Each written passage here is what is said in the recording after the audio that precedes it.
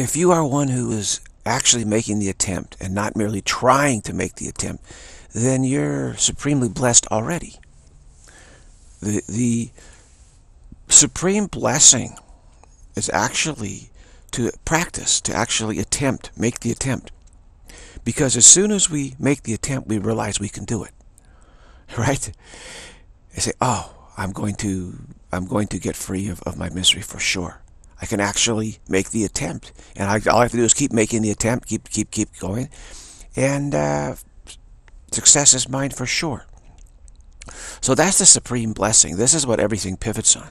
The vast majority of, of, of, of those, uh, we say quote unquote in the world, uh, don't ever make any attempt. They, they say, I want to try, I want to try, I want to trying, I'm trying, I'm trying, but they're not making, actually making the attempt at all. This is true. And then they run everywhere, here and there, trying this, try this, try this, but never make an attempt. I know, I've been there. So I'm able to have hindsight, know that the, by far and away, the, the greatest challenge where we have to put all our effort into is actually making the attempt. And that's how do how do we get to that? Well, all the great gurus uh, have given us the inspiration to finally convince us that we can at least make it make an attempt. That's the grace of God. The grace of God brings us to this actually making an attempt. But we are so defended against this that there isn't any prescription that anyone can write. It's it's the it's an overall faith thing that you, you have more faith in truth than you do in lies of it ultimately. So nobody can can teach how to get started. It, it's it's a it's a decision on on anyone's part, and the suffering in the world is because most have not gotten started yet. So oh, I'll try, I'll try, I'm try, I'm trying to think about it. I'm trying, I'm trying, I'm trying, but I'm not actually doing. I'm not actually attempting. So there's nothing I can do or anyone can do about that other than be enlightened and and let that the weight of that work on on everyone at a deep level and you cannot see the workings of it really at such a deep level. It's it's it's how do you come to repentance? You see.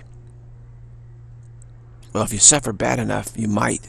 But even suffering, well, if it's real terrible suffering, you will come to repentance, which is what happened with me. But generally, suffering doesn't cause anyone to come to repentance. Uh, you say, ah, I'll take a medicine, go to the doctor. They go running to the doctor. Doctor, I feel terrible. They fix me up. Okay.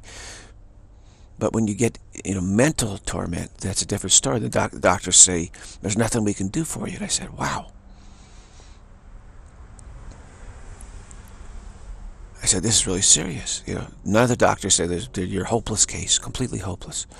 So I said, so I said, okay, the suffering then is going to go on forever.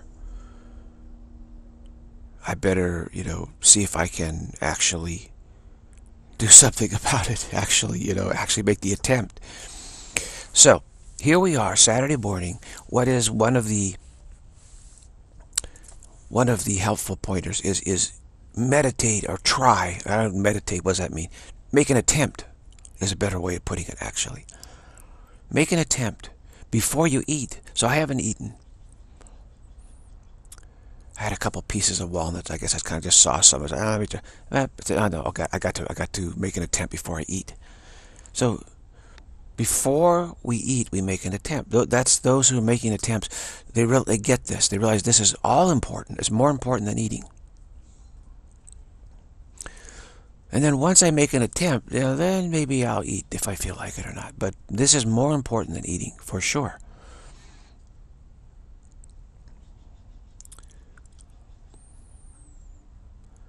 So I can only deal with those who, who, who are making the attempt.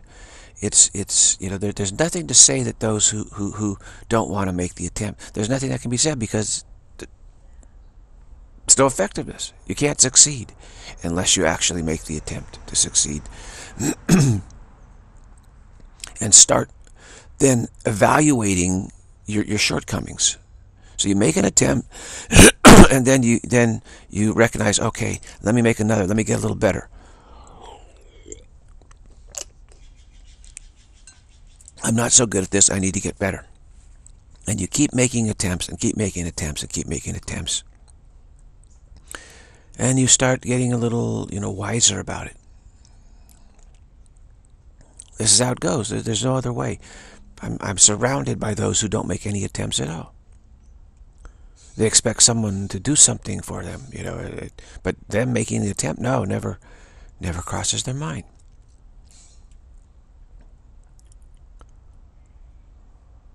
The Guru is only here to inspire us to make, make an attempt, to actually make the attempt.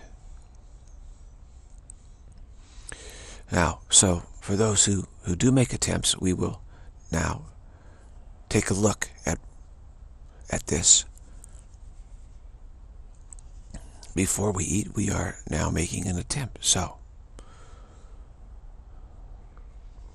the principles are the same no matter what type of, what the subject matter of your practice is.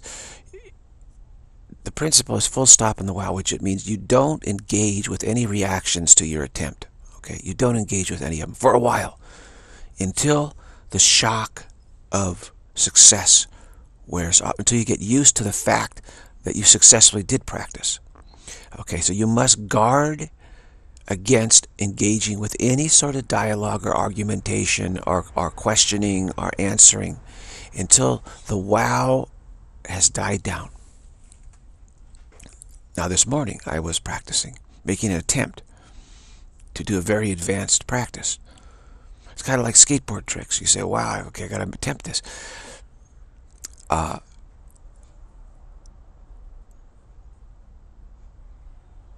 And I started getting into argumentation and dialogue, inner dialogue about, you know, people were objecting, there's objections rising. I said, well, wait a minute. That's a mistake. I'm supposed to just be in the wow. When I'm practicing, I'm in the wow. So this is a commitment. Is The wow is, is all reactions, everything that arises is just put into this one big reaction of just wow.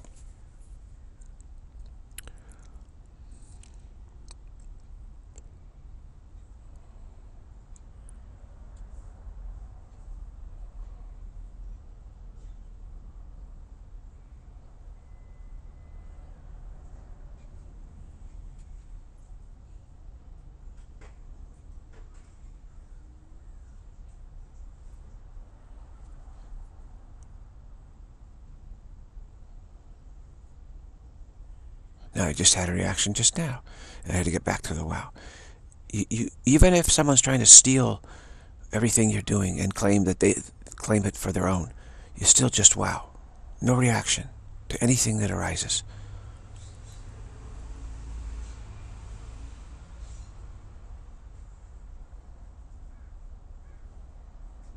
See, because our goal is is realization as Ramana Maharshi said, your, your own self-realization is the greatest help you can give anyone, quote-unquote humanity.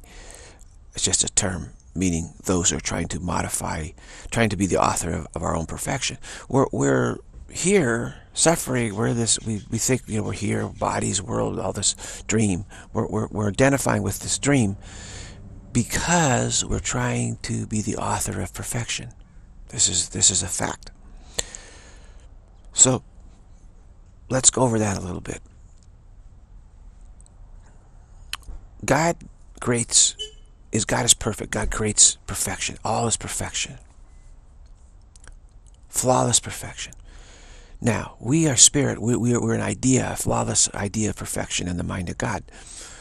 Now, what we did is we, we said, hey, we want to be God. We want to be, so what, what does that mean? We want to be the authors of, of our own perfection. We want to be the authors of our own perfection. We want to be the creators of perfection. So, but, but then what about the perfection that already is?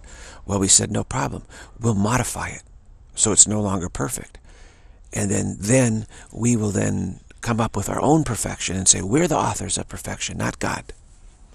But in order to achieve this goal, we, we first have to modify the perfection of God. Otherwise, God would say, but perfection before your perfection. There already was perfection. perfection already is. Uh, so this is what we've been trying to do. It's really simple. We're trying to modify perfection so that we can then create, be the creator of perfection. We want to modify God's perfection so then we can be the creator of perfection. All right? Really simple, isn't it?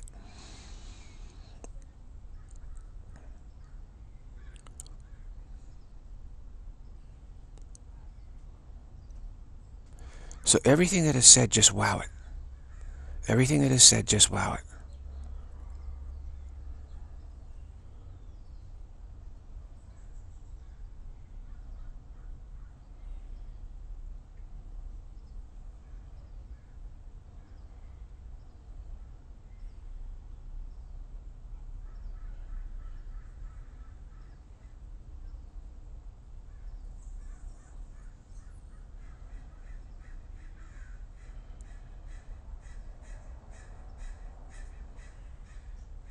Everything that is said, just wow it.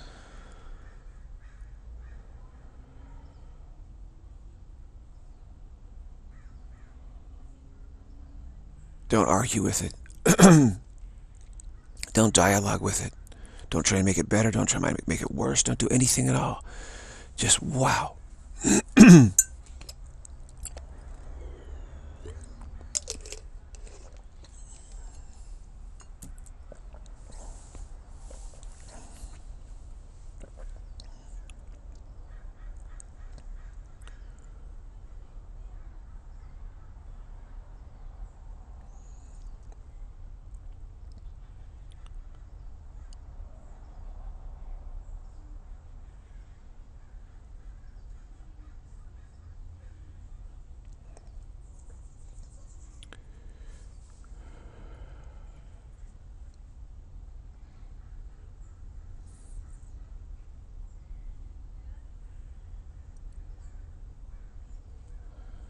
So this is the way to make an attempt. We settle in, we fasten our seatbelts, we work on the wow as all these attempts to destroy, all these efforts to disrupt our attempt tries to distract us. We're committed to doing nothing but just wowing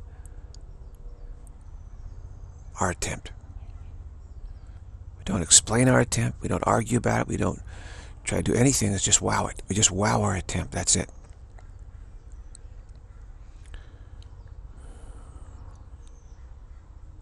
So first we have to be committed to wowing our attempt. That comes first.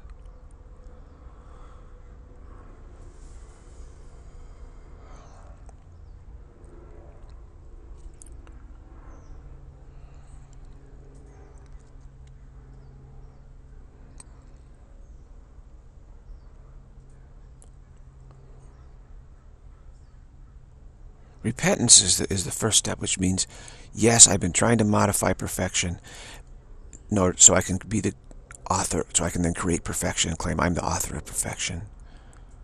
But this all illusion. It, I can't modify perfection. It's not possible. It's impossible. And since I can't modify perfection, how could how could God be angry? I haven't done anything to perfection. I haven't modified God at all. So God can't possibly be angry. God has you know compassion upon us for, for trying to do this silliness and suffer, imagining all the suffering of, of modification, of perfection. But anger, no, not at all.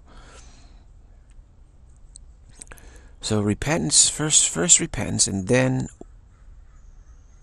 we have to determine to wow our attempts rather than respond to all the objections that arise because they're, they're innumerable objections some objection is bound to arise. I got some objection already that's arisen that's trying to just detract me from what I'm doing here.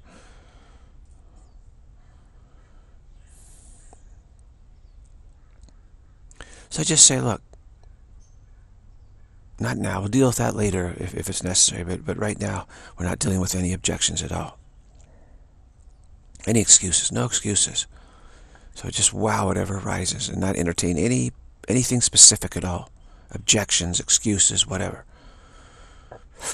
So first comes repentance, saying, okay, I can't modify reality. It's impossible. Perfection still is exactly the way it's always been. There's nothing I can do about it at all. So I have to just, you know, get used, just come back to accepting this, that, that all my attempts to modify reality have been futile.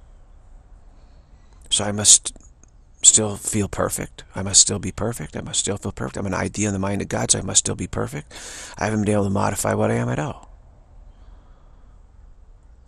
Wow.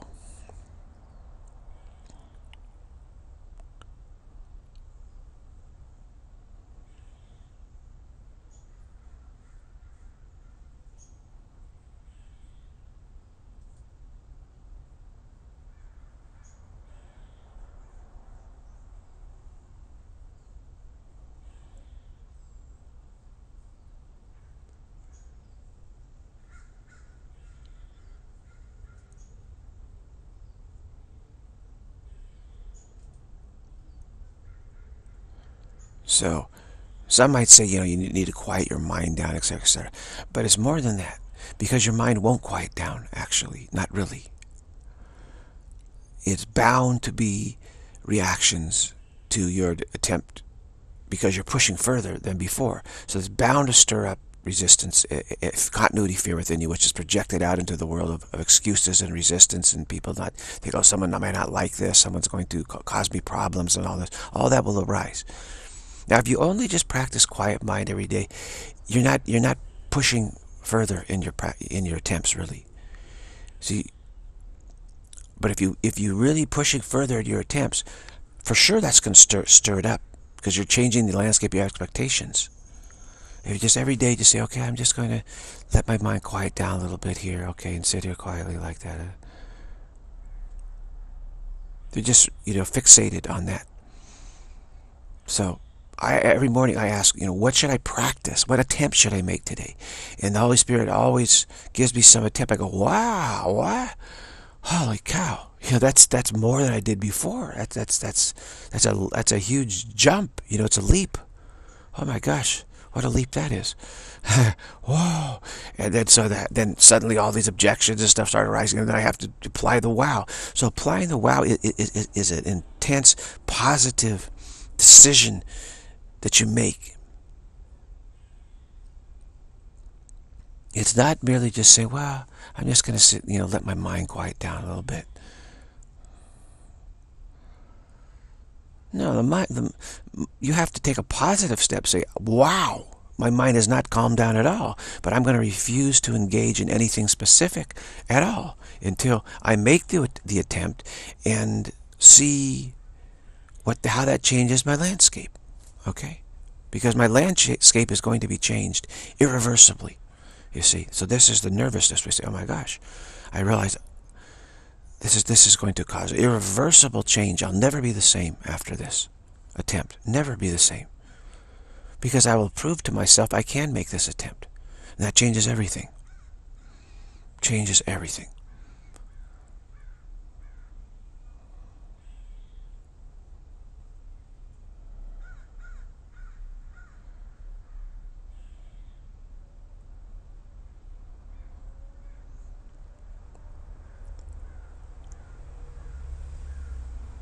We're afraid of success. We don't want to be the guy.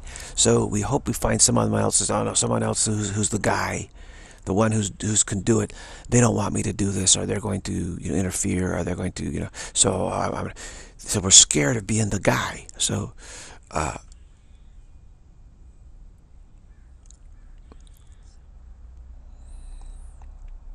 me the one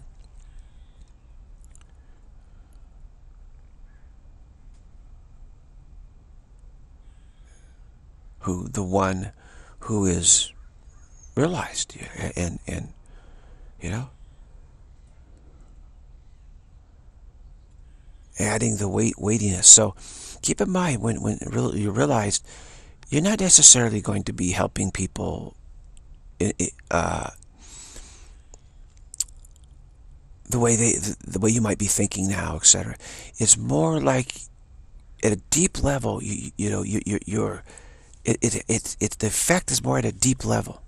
The effect may not be seen superficially so much. People may not pay any attention to you. You may, you may not have any much of effect on the superficial scene at all. But deep down is where the effect is taking place. Ramana Maharshi had a great effect on everyone deep down. And it, you know, starts to rise in people. When you start to become aware of Ramana Maharshi, you go, oh my gosh. That, well, that's because the deep effect he's had on the world is starting to surface in some of us. Some of us start coming across references to Ramana Maharshi. It's like, who is this guy? I didn't know about him before. Like, wow. Yeah. Well, that's the effect of his grace.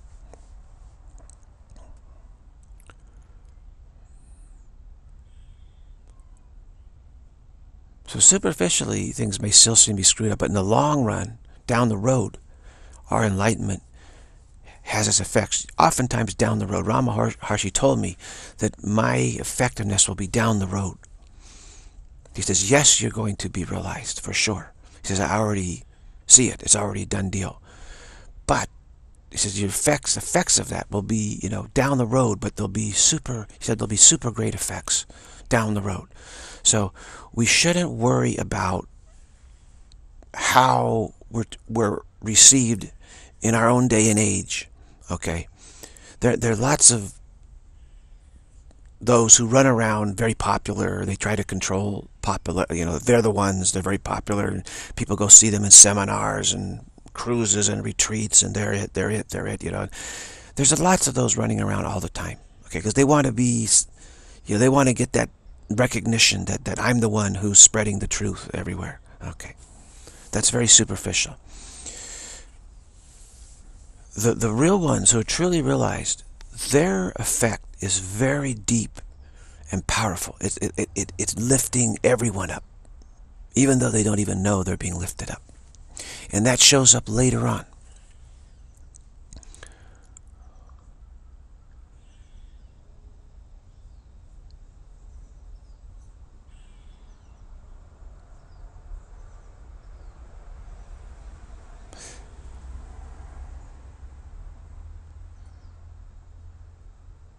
Who knows? Centuries later, maybe. Look at Longchenpa.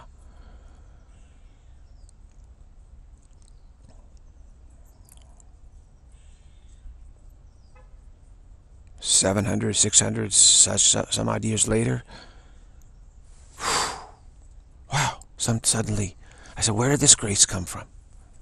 And Longchenpa said, "Well, yeah, I was here. You didn't even know it, did I?" I said, "No." Wow. So the, the grace remains as a constant presence in the world in in the this fantasy realm of, of modifying perfection. We believe that we're well what it really is is that we're trying to modify perfection, but we can't. So we despair about that. We say, oh, I'm in such despair. I can't reach my goal. I can't reach my goal until I modify perfection. And so I'm in such despair about not succeeding at that. And so then we think if we just keep this despair growing and grow the despair more and more and more, that this despair will modify it. So this is why we, we, we keep having these lives and lives and lives. and put ourselves into this body and despair. We're not really in the body, but we're, we're, we're, we believe that there's some self in the body that's despairing. But it's really our own efforts to change reality, change perfection, that we can't do it. So I say, what do we do? What do we do? Should we give it up? No, let's feel despair about it. So we hope that despair will, will modify perfection and then we can then be the creators of perfection. But there's no chance of that happening ever. Can't ever happen. So we're just floundering in despair, at least imagining we are, and that's it. There's nothing more to existence than just floundering in despair. That's all that existence is. That's all that it is. Nothing more than that. Floundering in despair. Floundering on the beach of despair. That's all we're doing.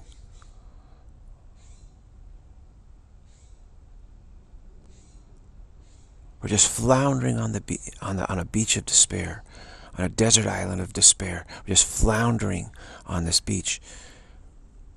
That's all that existence is. There's nothing more to existence than that.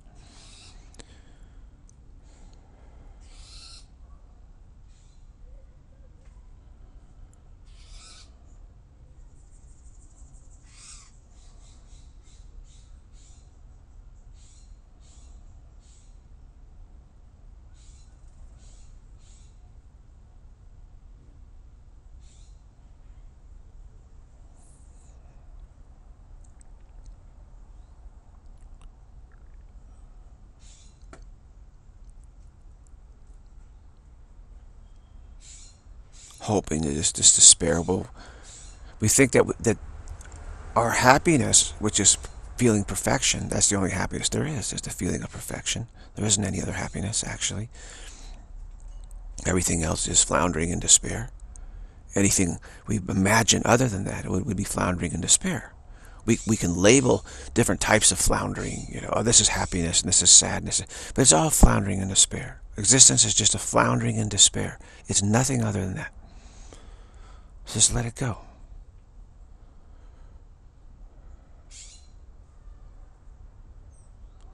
So yesterday I got this feeling like I'm ready just let it, to let existence go. As I said, okay, yeah, I'll do it. I, I'll do it right now. Even if we wait, it's still floundering in despair. Even if we wait more, it's still floundering in despair. Even if we wait less, it's still floundering in despair. No matter, matter what waiting we do upon existence, is nothing other than floundering in despair. That's it. An aimless floundering in despair is all that existence is. So, say I, I, I loosen my, loosen existence from my interest. I have no interest in existence. I let it go.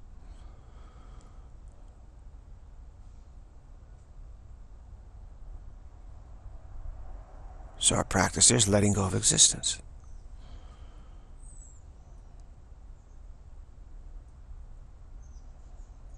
Now,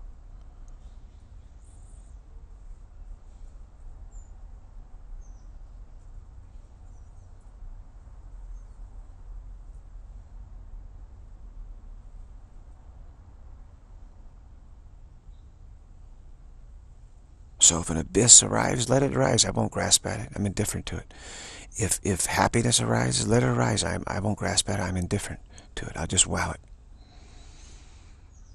Oh, there's an abyss. Okay, wow. Oh, there's happiness. Okay, wow.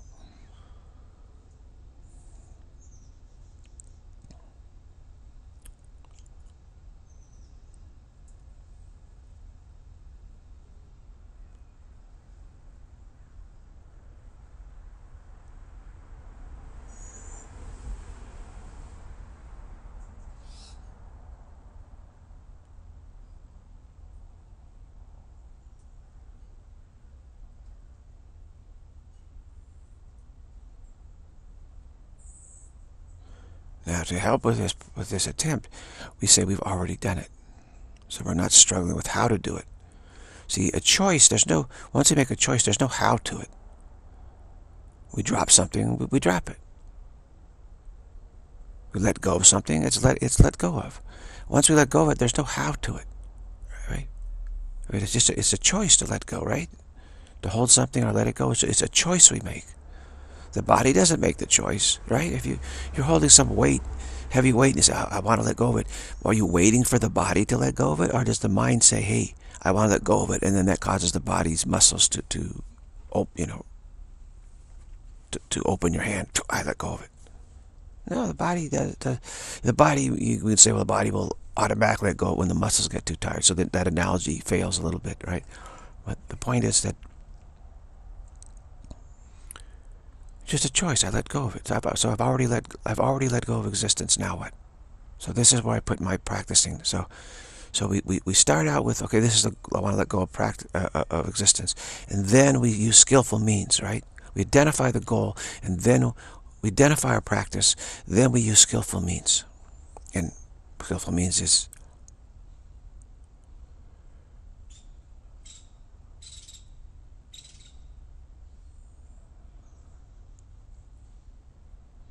I already, I already have let go of it. I've already let go of existence.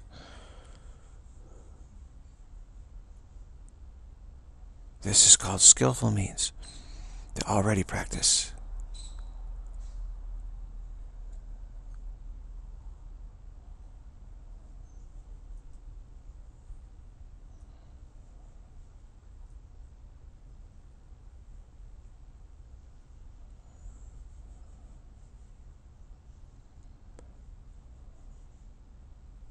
I've already let go of existence. It's already taken place.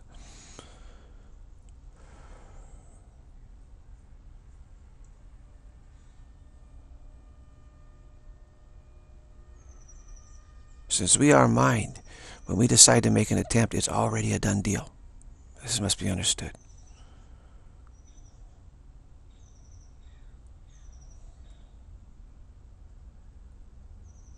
That's why Longchenpa told me, no, you're already enlightened. It's a done deal. From my perspective, it's already done. I already see you as enlightened. Because you, you, you made the attempt. You're willing to make the attempt. So it's, a, it's already a done deal. It's already done. So Ramana said, you've already done it. It's done. Done deal. I said, wow.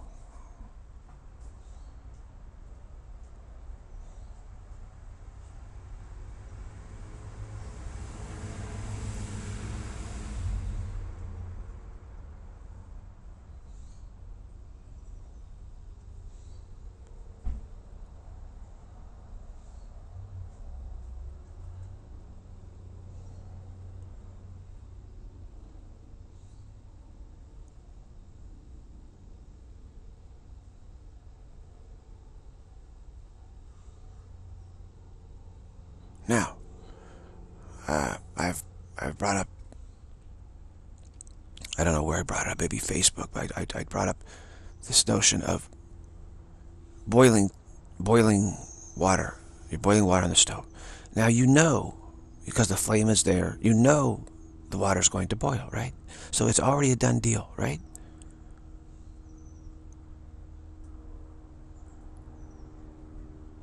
The cause the cause is there. So the effect must be there, right? Now, is there really a necessity for time? To imagine time between a cause and an effect? Is there really that necessity? Well, we're honoring our creativity, imagining that somehow causation is subject to time, even though it's not. That's our creativity. Okay. Now imagine that we're boiling water for tea. So we're going to pour the, the water in the in the teacup with the tea bag there. We're going to uh, drink our tea then.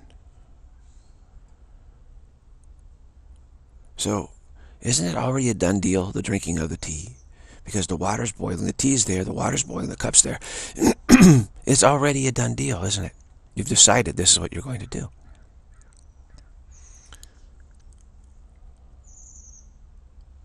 So why can't we drink the tea right now? Why not drink the tea right now?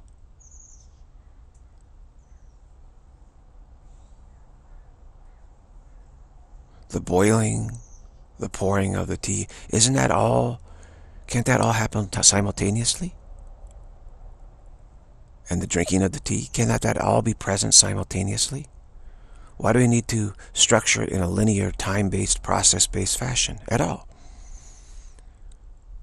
We wouldn't be losing the boiling of the water and the pouring of the water into the you know teacup, the steep steeping of the tea. That also could still all be present also, right now. But it's all simultaneous. And we can experience any any of it or all of it we want to. But isn't it all present right now? If something's a fait accompli, then shouldn't it be shouldn't we be able to experience it right now as well?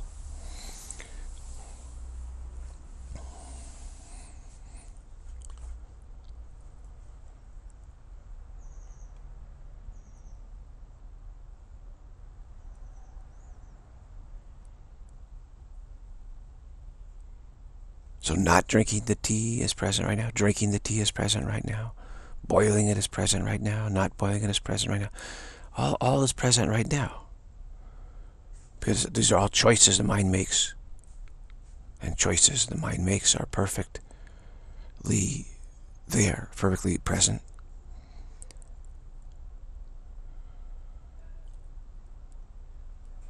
So we can be boiling the water and drinking our tea at the same time. Or if we want to just focus on drinking the tea, we can just be drinking the tea right now. So there is no linear causation other than the mind choosing to experience something, which is simultaneously the experiencing is present to experience. But everything is that way. There's nothing that has to happen first. But if you want to have other stuff taking place also, the, the boiling of the water stuff, that's also present. But it's not present prior to the drinking of the tea at all. There's no priorness to already there-ness. So there's no priorness to already there-ness. So I'm already there. I'm already here. Everything is already here. Is an even better way we might say we can practice this. All effects are already here.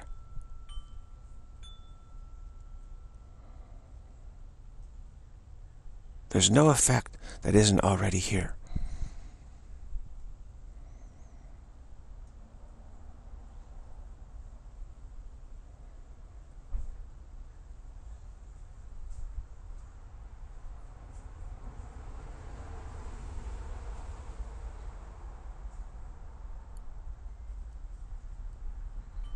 There's no effect that isn't already here.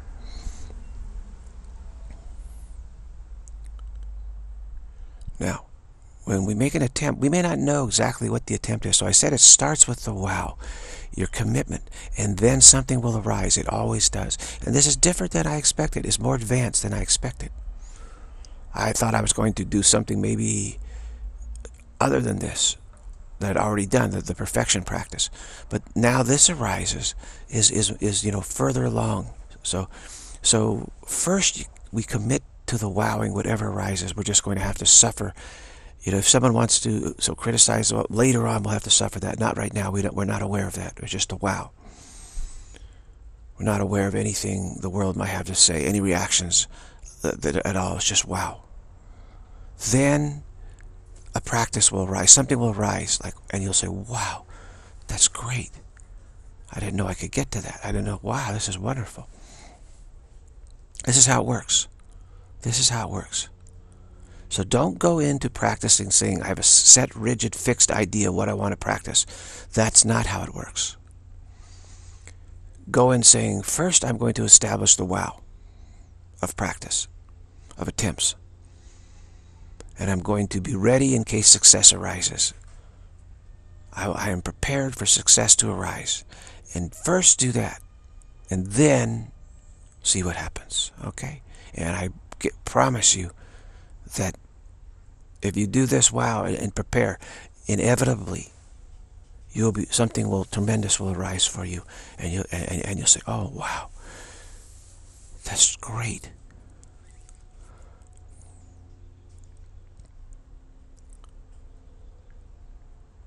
Now, just because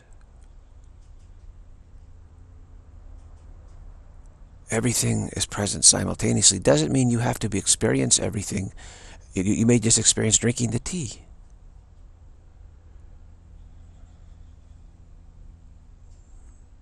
But there's no sense of, of having, having to wait to drink the tea. That something else had to happen first.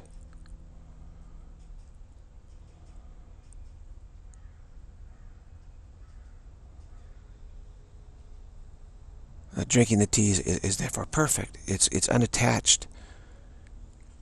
There's no conditions to drinking the tea. It's pure drinking of the tea. Unconditional drinking of the tea. Unconditional boiling. One experience the boiling of the water. Unconditional boiling of the water. That's not interfering at all with drinking of the tea. So nothing, no effect interferes with any other effect. This is perfection. No effect, no experience that we're having can interfere with any other experience. It's impossible.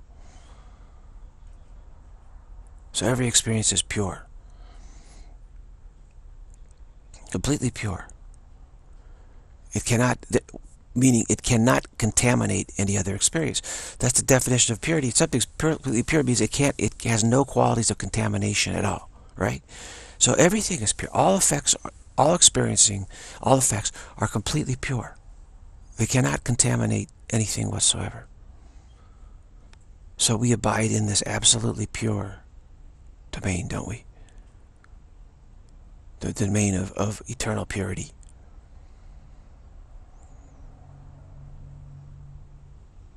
That's our home. It's the only home there is. There's no home of corruption at all. Nothing can be corrupted. No effect has any corrupting effect on any other effect at all. Whatever other effect we're choosing, that is present right now, exactly as we choose it. Untouched by any other effect. No effect caused it at all. No effect caused it at all. It's purely what it is. And it also, it has no corrupting effect upon any other effect. So there's no corruption anywhere, actually. Corruption doesn't exist. Now we're dreaming a dream that, of corruption. That corruption does exist. Despair, corruption. doesn't exist at all. Never has.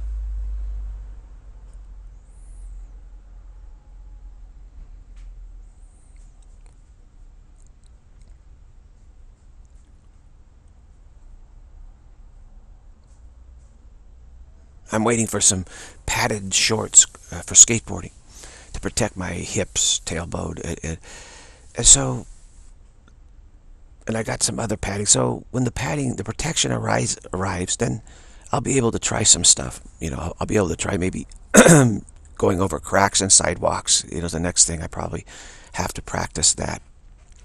And I'll see if I can work into some sort of capability with the skateboard. But I, I realize I first have to have the protection. Otherwise, I, am definitely in trouble. Uh,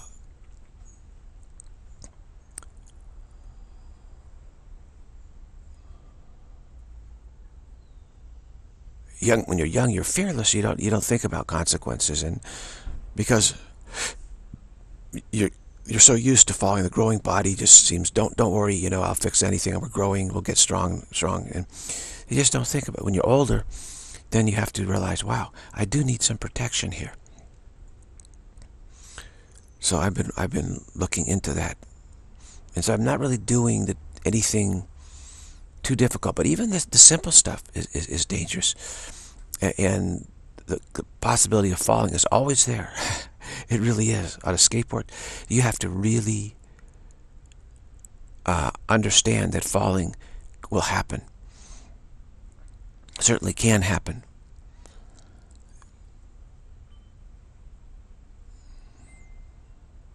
And look at it from that standpoint. So it's very similar to practicing. Sh shock will arise, for sure. So, well, the wow is like protection, padding we go into our practice with the padding already on. We don't go into the practice without any padding and then fall and say, oh, gee, I guess I should have worn some padding and then put it on after you've broken your hip or bruised your hip. It's a little too late then, right? So obviously, then we'll stop skateboarding. We'll say, oh, no, it's too dangerous. To stop. So, so I, I, I looked at this and I said, okay, this is interesting. It's a very strong parallel. You're, we're doing something that seems very difficult for us, right? Skateboarding seems very difficult for almost all of us, unless you're young. Even then, it's difficult.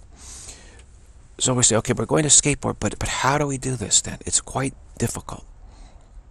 So I've been testing different stuff out. First, I tried to learn how to fall properly. And then I realized, even if you know how to fall properly, the unexpected will catch you which is what happened to me. I'm, I'm still in recovery phase from this, uh, and I'm doing pretty good. My knee feels pretty good. Little, still a little sore, little sore hips, still a little, and my elbow, the scar's almost gone, you know, the scab's almost gone. Still a little painful right here.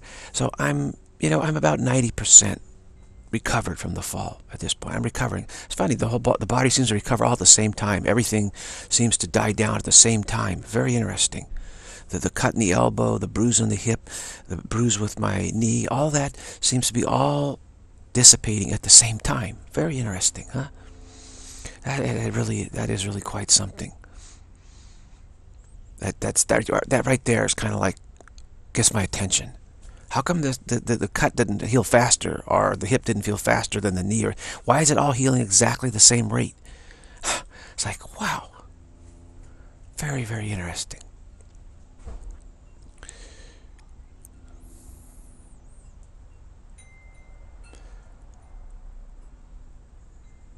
So I said, you know, skateboard satsang is, is you know, one of the things we're doing is skateboard satsang. And this is, this is a metaphor. It's, a powerful metaphor that we can use. It, it's, it's an inspirational tool. Okay, and we need inspirational tools.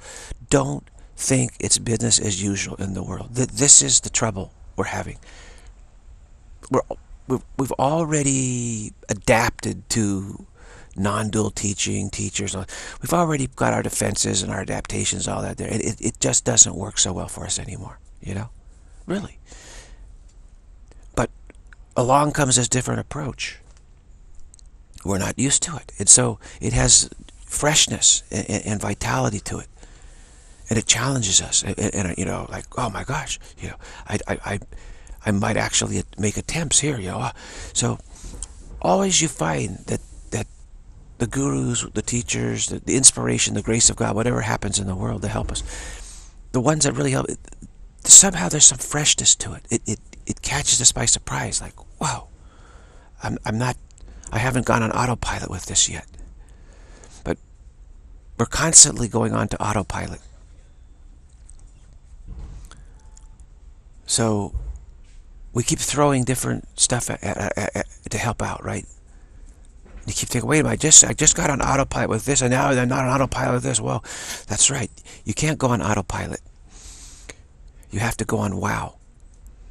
Wow is not an autopilot. Wow is like, oh my gosh, I'm on the skateboard. What do I do now?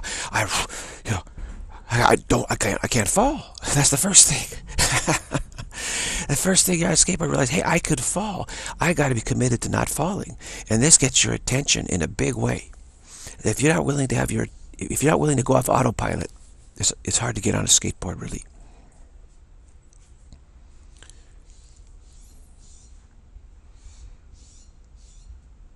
If you're not willing to go off autopilot, it, it's it's very difficult to, to make any progress on the spiritual path. Most, many are now fixated on non-dual lingo you know, the buzzwords of non-dual buzzwords. They're fixated on it. And so they think, well, that's what a teacher is. That's so. So a teacher has to be has to help me stay on autopilot. No, that's not a teacher that helps you stay on autopilot. That's some. That's someone who's on autopilot themselves.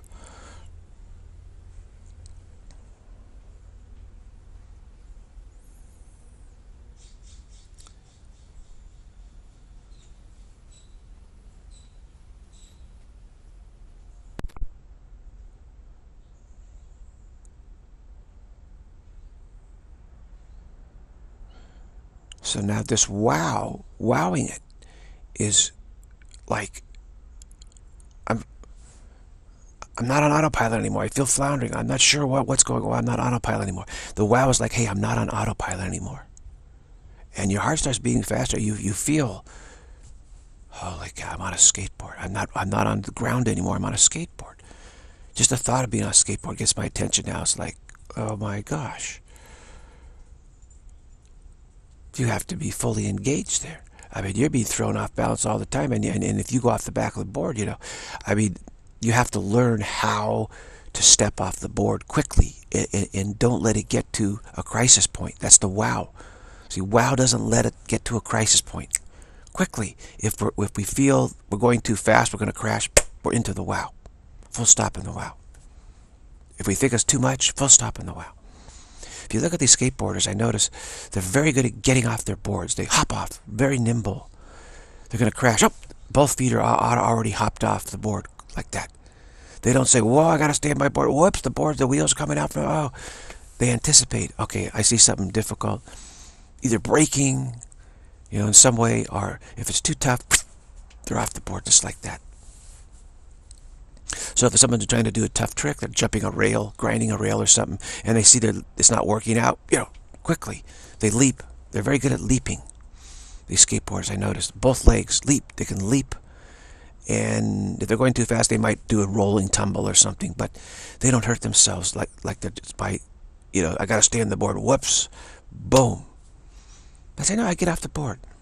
I'm not committed to staying on the board at all costs. If if if if, if things are getting too hairy, you know, to to you know, off the board. Bail out. Bail out into the wow.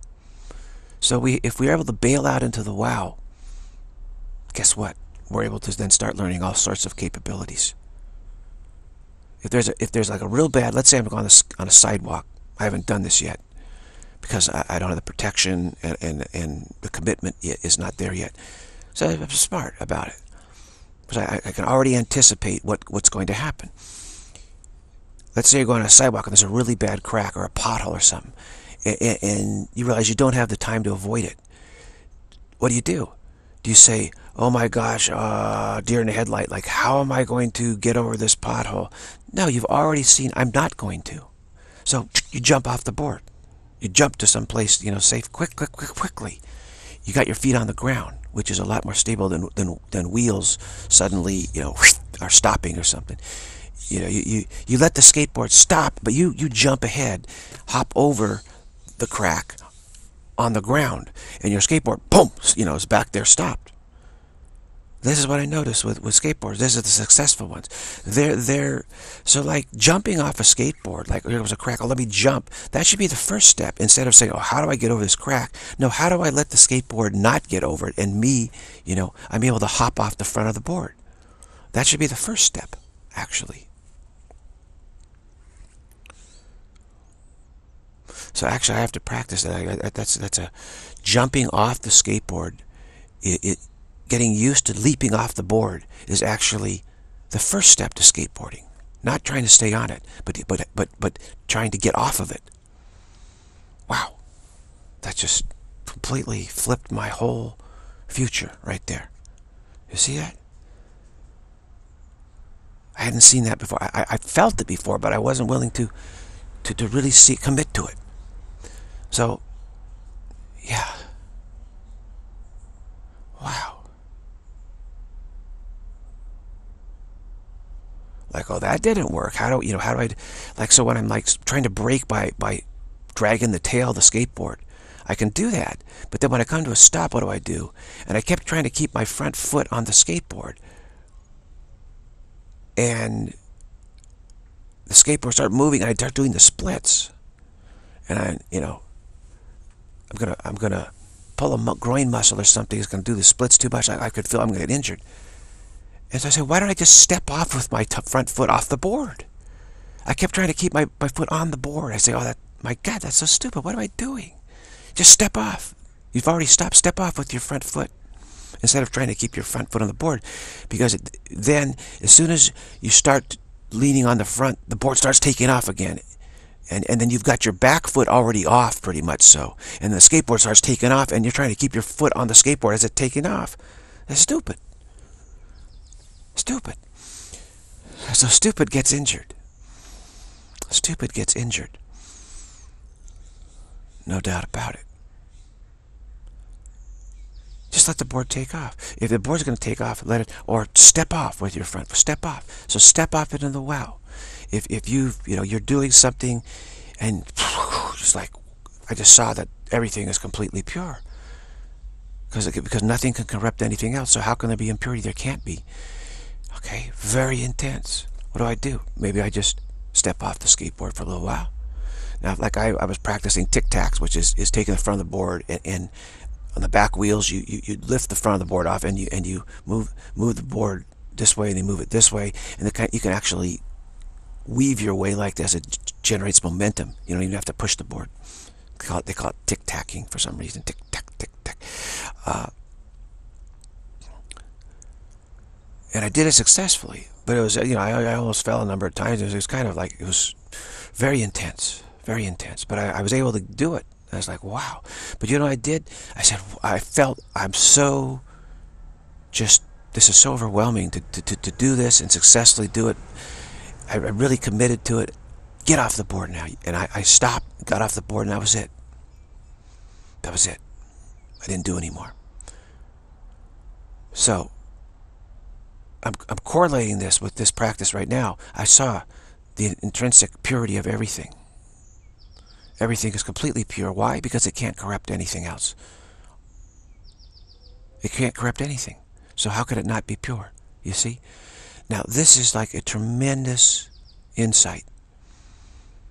You know, obviously, right? This is this is obviously if you've been on the spiritual path, you wouldn't you will know that to see this and recognize it and get it and say, "Oh, I, I see it, I get it."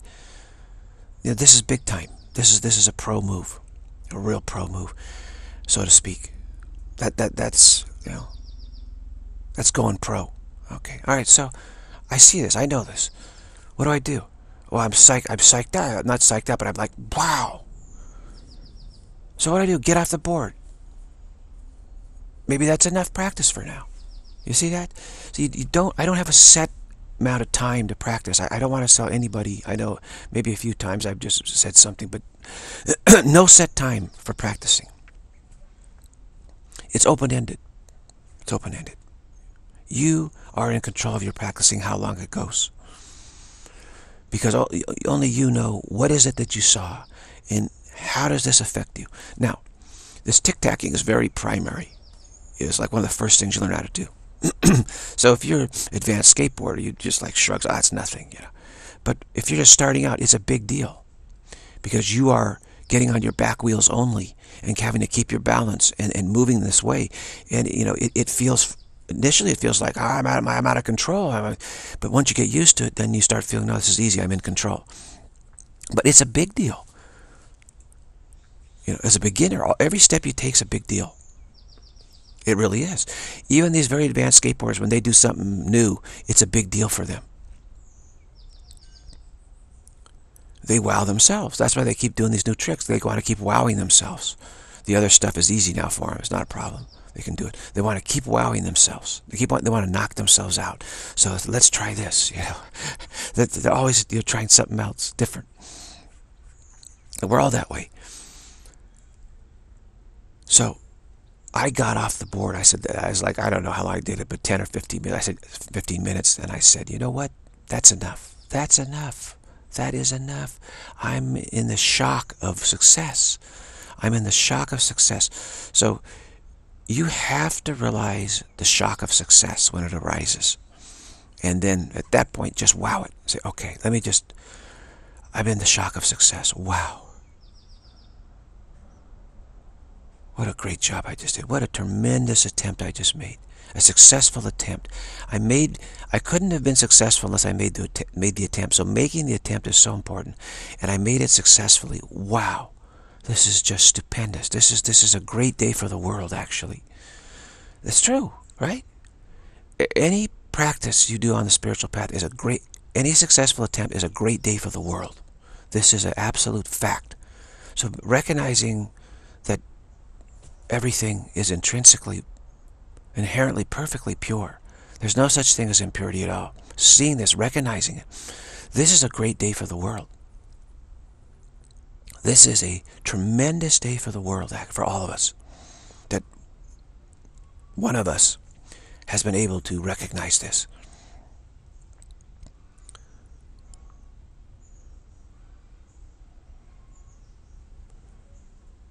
So I have to, you know, wow the shock of that.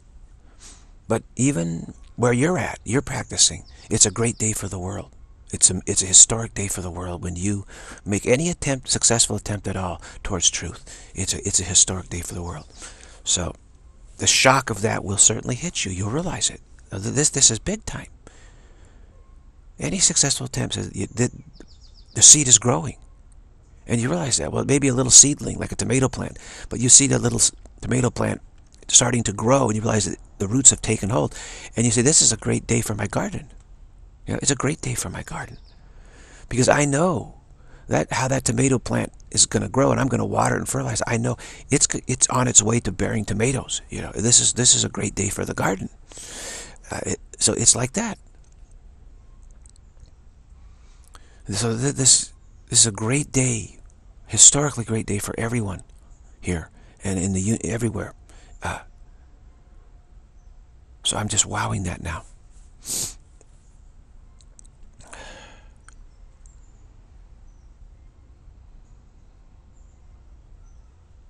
I hope this is recording.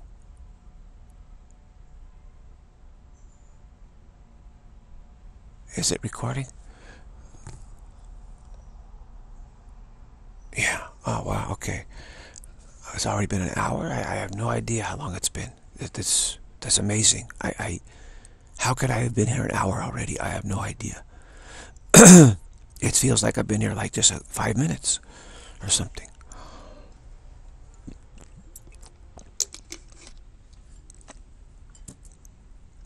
Seriously, is that possible? It, it doesn't. It doesn't feel that way at all.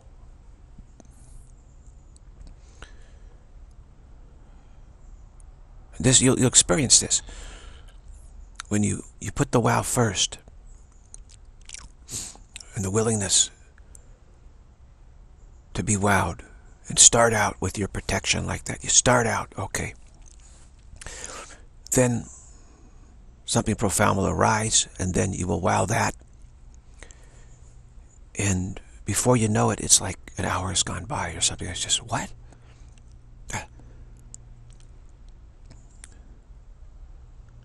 I, I, I can't I can hardly believe this an hour has gone by. Wow. My nose is just itching severely right now. But don't don't do anything about it.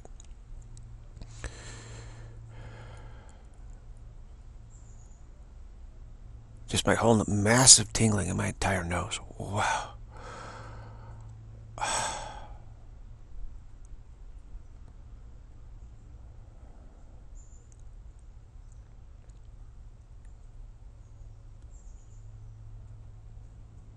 I find that reactions often show up in the nose for some reason. Oh, it's just brutal right now. It's all over, just a massive reaction.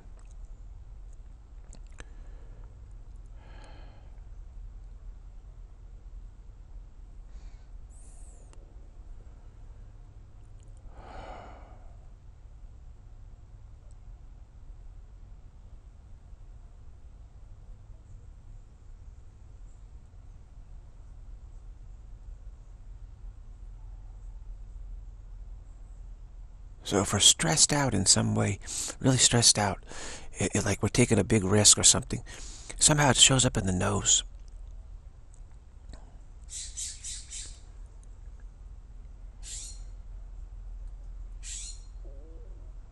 And people say, well, they can they can the nose is the indicator if someone's not telling the truth or something. Be well they're taking a big risk there too right? Here is the opposite. We're taking a big risk in telling the truth. So this uh, this is showing up in the nose too it's, it's it feels very risky. Of course, when someone's you know like lying to you, they're taking a big risk, right? Uh, if it's a big lie, they, you know, so it will show up in their nose, and they may try to start scratching their nose or something like that. But you know, body language people say, well, that means they're lying. That's that's only half of the situation, actually. It could mean they're telling you the truth, but that's a huge risk to tell the truth in this world. Very big risk. Seems very risky. Very shocking, very wowish. So body language, eh, you know, isn't always accurate in terms of how you interpret it one way or the other. It could be super positive, that, that someone is being troubled by super positivity.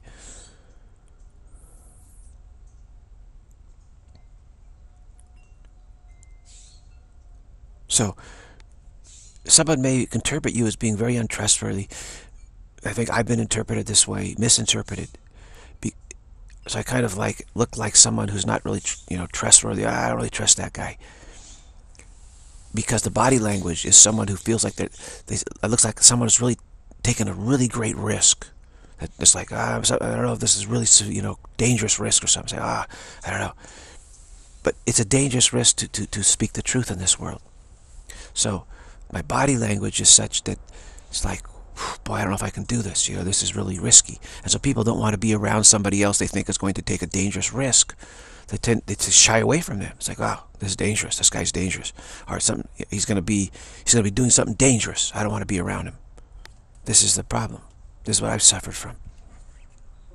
People don't want to be around me because they, they feel that I, I might be, you know, do something really dangerous. So they shy away. But it's not a negative dangerousness that I that I'm doing so much, right? I mean, skateboard, you could say, well, it's dangerous, but, but that's a different context. But it, it's it's it's a positive dangerousness. In other words, I'm I'm risking speaking the truth in this world, bringing the truth here, which is there's nothing more dangerous than that in terms of the resistance of the world. Yeah.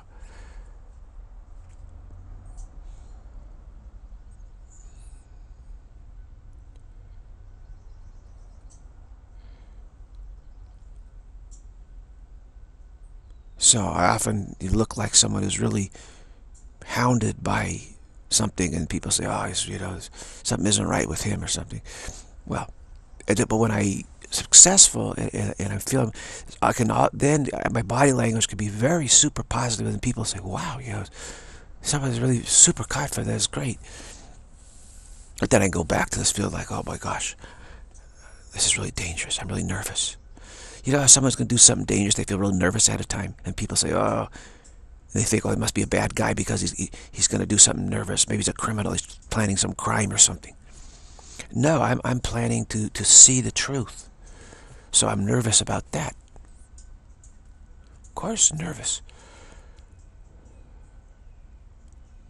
Unfamiliar territory, isn't it? Very unfamiliar. And yet, anciently familiar. It seems to familiarity is something ancient because we've been trying to be unfamiliar with truth for so long.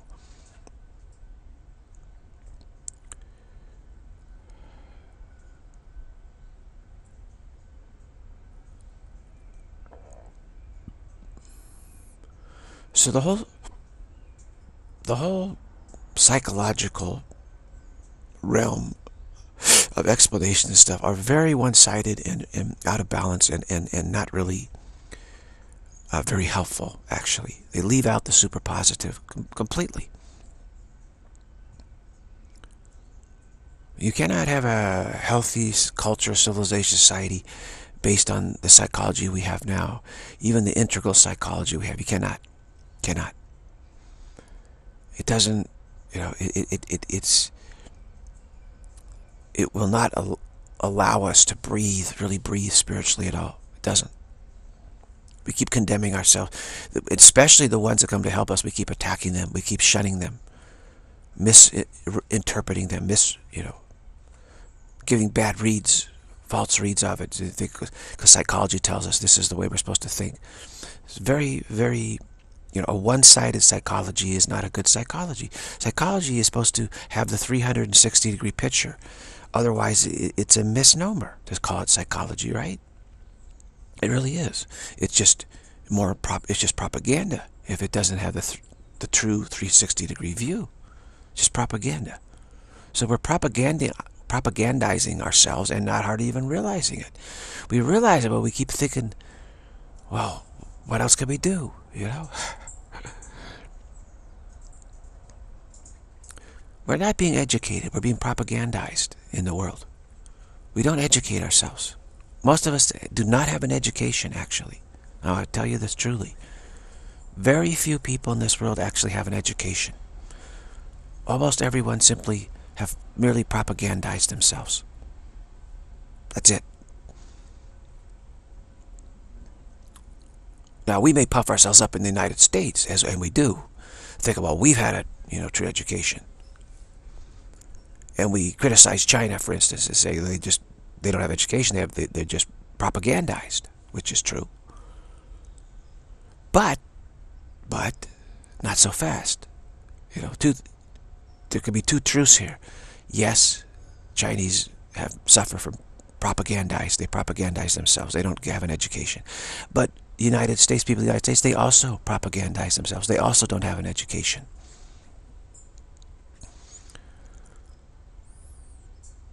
Although, although the freedom here the structure we have in the United States, the constitutional structure we have, does allow for those who are motivated, internally motivated, it does allow them to pursue an actual education, which is what I have done. I started doing it in, in when I was about 10, 10 years old, let's say. I realized that everything I was getting from culture and society was just propaganda. Propaganda. There's no education at all in school. I wasn't getting education. I was being propagandized. Then I said, this is never going to work. I don't want to do this. I want a real education. I was I was so determined to have a real education, I stopped paying any attention to school and started then really studying spiritual teachings and focused my focus my attention shifted off of school and off of culture onto spiritual truth when I was 10 about 10 years old. So I've been at it for 50 years. Getting a I've, I've, I've, I've had a 50 year real education you might say which is pretty rare here in this world. It's very rare. But there are those who do that. And you can do it anywhere. You can even do it in China you can do it eternally. Dream yoga, you know, meditate, quiet, calm in your house, whatever it is. You don't make, you don't make, tell anybody you're doing it, right? Or you'll disappear, or at least they would want you to disappear. You know, nothing can happen to you that you don't want agreed to have happen, take place, but the pressure there is very severe. So there's less pressure in the United States, although there is still extreme pressure to go towards material, you know, materialism, capitalism, materialism, all that stuff. That's extreme pressure here, actually. I mean, we say the Chinese put pressure on their citizens. Well, we put pressure, United States puts pressure on their citizens too. Probably the, the same intensity of pressure. It's structured, the pressure structured in a different way. But we're very much pressured to believe in, in, in, in uh, that the propaganda is just, is, but it's good propaganda. You know, yeah, it's propaganda, but it's the right propaganda. But it's not an education. It's not 360 degree. Not at all. Not even remotely, is it? But we're allowed to, you know, have books here. You know, we can order any book we want. You can't do that in China. We're, we're allowed to access what we want to access. Uh, so, it's, you may be shunned, people may, but you're not locked up. You're not imprisoned for having different beliefs here. Not yet. That's coming soon. Constitution is, is basically finished here in America. That's what Tibetan masters tell me. Uh, the United States is, is, is in tatters. And not likely to be fixed. It's not going to be fixed. It doesn't matter if Trump's elected or who's elected, Clinton, whatever. The, the, the damage to the Constitution and, and people have been propagandized so severely here now in the United States that th they feel as if getting rid of the Constitution is the right thing to do. They say we need more propaganda, not less. This is a downward spiral. So we're on a downward spiral in the world right now. The whole world's on this free fall. It's like a plane. Yeah, the plane is flying at 30,000 miles. But it's in a tailspin. You know, the, the, the, the instrumentation is iced up and the, and the uh, and so uh, the autopilot's not working anymore now. The, and the pilots, uh, and the and yet all the gauges still read right somehow. This is how some plane crashed in, in the off the coast of South America, for some French plane. Somehow, everything looked like it was okay, even though the plane was in a tailspin. It's weird. And they couldn't pull it out in time. So the world's in a tailspin and the world, maybe all the instruments in the plane are still reading fine. Everything looks fine. But obviously it's in a tailspin. We, we could feel the tailspin, right? But the pilots are saying, well, you know, every, all the instruments, let's say we're still at a good altitude, everything's fine. Hmm. Okay. And the, the paralysis, because you're used to getting, following machines and telling you what to do. Now, my dad was a, pilot back in World War II. Hey, He would he would have noticed that we're in a tailspin. I don't care what the, what the gauges are telling me. I'm I'm intuiting what's going on with the plane, and I'm going to trust my intuition, and I'm I'm going to correct it right now. You see, so that generation, my my, my World War II generation, they weren't so bossed around by machinery and technology as we are now. We're like zombies, tech zombies. Whatever the technology tells us, we just say yes, master.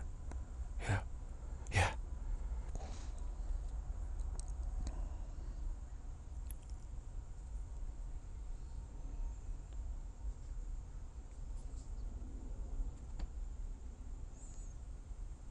Yes, master. So, yeah. Plane's in a tailspin. There's some indication, you got some feeling. Something isn't right. So I am going to take the control of the plane myself, and I'm going to make my do my best to to get the feeling back, back the right feeling back again. Flying is a feeling. It's not just all gauges. Back in World War II, the pilots you know, they, they had to feel the plane.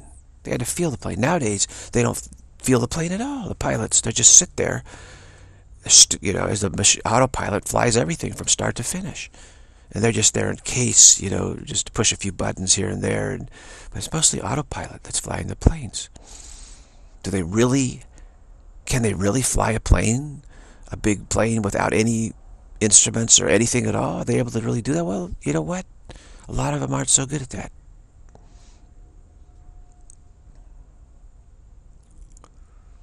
and we're coming less and less as we depend on machine, you know, technology to do everything for us. So if the technology says everything's fine, we just sit there like idiots. Everything's fine. Well, the Tibetan masters, they're not tech zombies. They have a feel for what's going on, a clear feeling. So they're looking directly what's going on. And they're telling us we're in a tailspin. We're plummeting. And we're, and we're not, we keep saying everything's fine. It's not.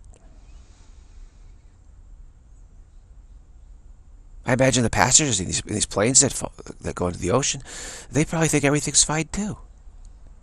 Because the pilot and the, the stewardesses and everything say, don't worry, everything's fine. We're just experiencing a little turbulence or something. The pilots say, no, everything's fine. The gauges show everything's good. Don't worry. So the passengers just say, okay, we'll come out of it. Whatever is going on, I don't know. I, I feel like something isn't right, but I must be wrong. And then go into the ocean like that. So we're like that. The world's like that. It's like it's like a plane plummeting out of the sky, and the passengers are saying everything's fine.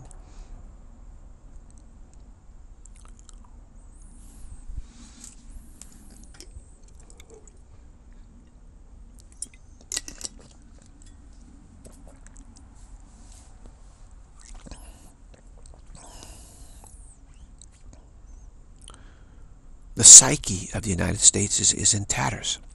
The political psyche, the will to protect the Constitution is in tatters. A lot of people are indifferent to it now. A lot of people here don't even know what the Constitution is. The, the, the new arrivals, do they have an understanding of the Constitution? Do they study civics? I mean, do they love this country? Meaning, do they love the Constitution? Do they love what the founding fathers did for this for this country? Do they love protecting the Constitution? Do they love protecting free speech? Do they love protecting the, the exercise of, of religion? Meaning that you should not suffer any consequences for your practicing of your religion, meaning you should you cannot be fired for speaking your religious beliefs. Nowadays everyone says, well, you're free to say whatever you want, but but you also have to suffer the consequences, meaning losing your job. Stuff. No, that's unconstitutional. What are they talking about? That's utterly ridiculous. Most, a lot of people now have no idea what the Constitution is about, and they're not really Americans at all. Tell you the truth, Americans are those who love the Constitution, who believe it's it's it's very worthwhile to keep it. That it's a very good system to help us out in terms of getting choosing to be free of, of being propagandized and having a genuine education you know, it's the best system we've come up with, one of the best, for sure. other than a theocracy like a Tibetan theocracy or something, or guru, the, guru, guru theocracy, or you know, like that. That's better. But on a big scale, so we're we're we're brought up. I mean, we're taught from childhood here. Americans teach one another about the greatness of the Constitution, the greatness of freedom of speech, civil rights, freedom of religion, that we're protected, that people cannot uh, give us repercussions should we speak up free speech. They're not allowed to. You must respect the rights and the law, the police, the law, and the, the arm of the law, police, will protect you from, from anyone trying to take repercussions against you for speaking up, speaking your mind in public. So we're, we're saying that we, we have the right to speak our mind in public and we cannot be locked away. We cannot be fired by our boss. The corporation cannot fire us, cannot fine us, cannot censor us. But now all that's gone by the wayside. The Constitution, the heart of the Constitution, which is really free speech and free practice of religion, has been you know, torn to pieces.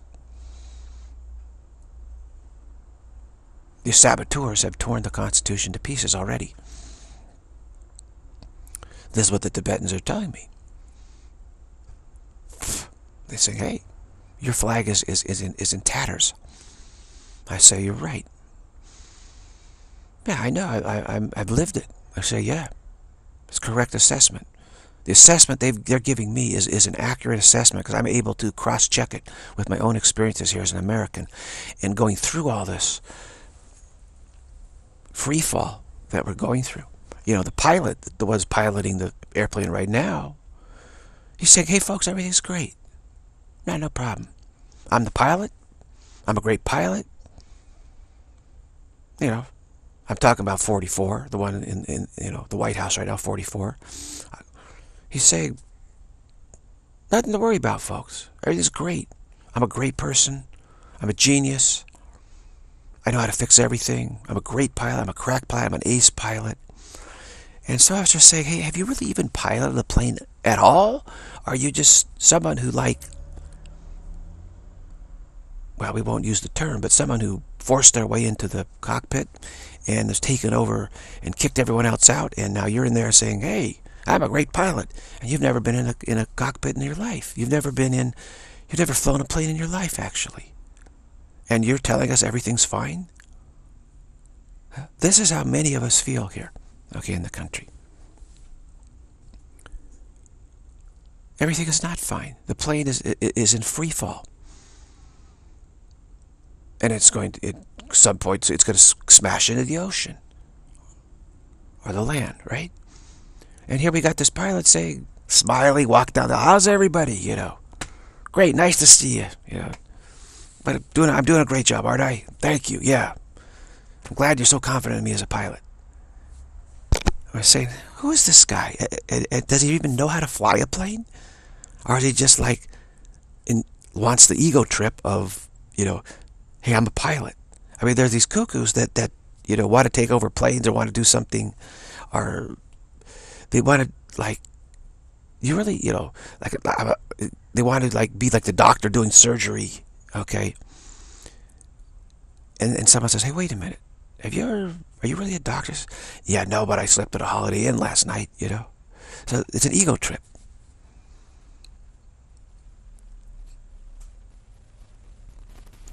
But they've never actually been to medical school at all. There's some that pretend to be gurus who, who, same thing. They've never actually gone through the, the tremendous path that has to be gone through of recognition. They're just pretending to be gurus because they say, well, that'd be, that'd be fun. The chicks dig the gurus or something, you know, that'd be fun. So they think, oh, I'm this guru. But they don't have a clue plane is the plane is crashing, and they can't. They just keep telling us everything's fine with the plane. this is what we got, and there are many of us that realize this. This this guy doesn't have a clue. Constitution is burning, and he's saying, hey, "Everything's great." We say, "Call the fire department." He says, "No, no, no, no, no, no. Executive order, no fire department called. Everything's great. Because if, if the Constitution is burning, that means I, I, I would be doing a lousy job. But I'm so perfect. I'm doing such a great job. It can't be burning, you know. I don't want my image to be tarnished. So, no, everything's fine. No fire department, nothing. Don't worry, folks. Everything's fine. Ah, uh, no, it's not. You're a freaking moron, you know. You're a grandstanding ego egomaniac. Psychotic, actually. We have a psychotic in charge of the country at this point, actually. Now, we're all hoping that he's not, right? So I mean, there's, I'm not denigrating those who who are supporting this guy because you're hoping maybe I hope he's not a psychotic. You know, of course, if if if the plane is plummeting out of the sky and the pilot tells you everything's fine, you hope the pilot's a, the best pilot in the world and they know what's they know that everything's fine. You, you hope that, right? And so we get it. We we get trapped in this. When we're plummeting out of the sky, we want to believe so desperately that the pilot is this genius pilot. And when they tell us there's no that every that it's not plummeting out of the sky, that they must be right. Of course, that's exactly what that person, that fraud, that imposture wants. Because that's the ego trip they want, is everybody believe in them so intensely. They want that. See? That's why they're that's why they're there doing that. They understand it. It's an ego trip. You're on an ego trip like that, this is what happens. So, again, I understand very clearly why so many people are supporting this this guy, this this psychotic in the White House, because they desperately want to believe that we're not, this country's not falling to pieces and crashing and burning because they love the country, right? I love the country. Americans lo love the country in terms of the freedoms that we have. I'll always love the freedom that I've had in this country. It's not perfect freedom, but you know what? It's better than, than, than most, the freedom we've had here. The freedom has enabled me to do what I've done.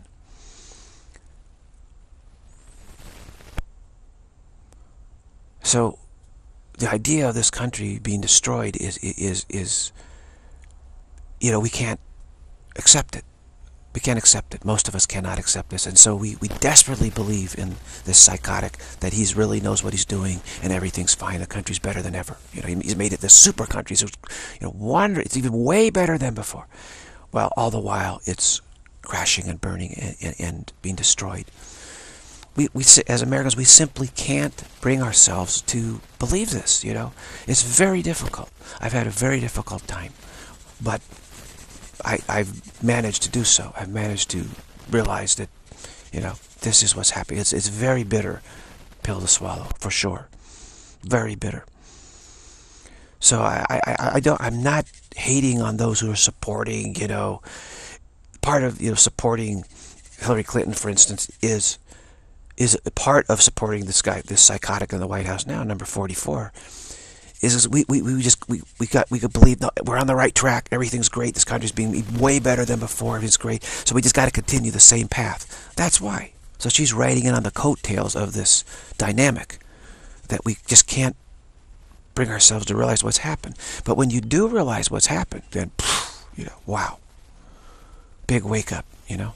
Uh, but some just, just they can't they can't bring themselves. It's it's too tough for them. I understand that.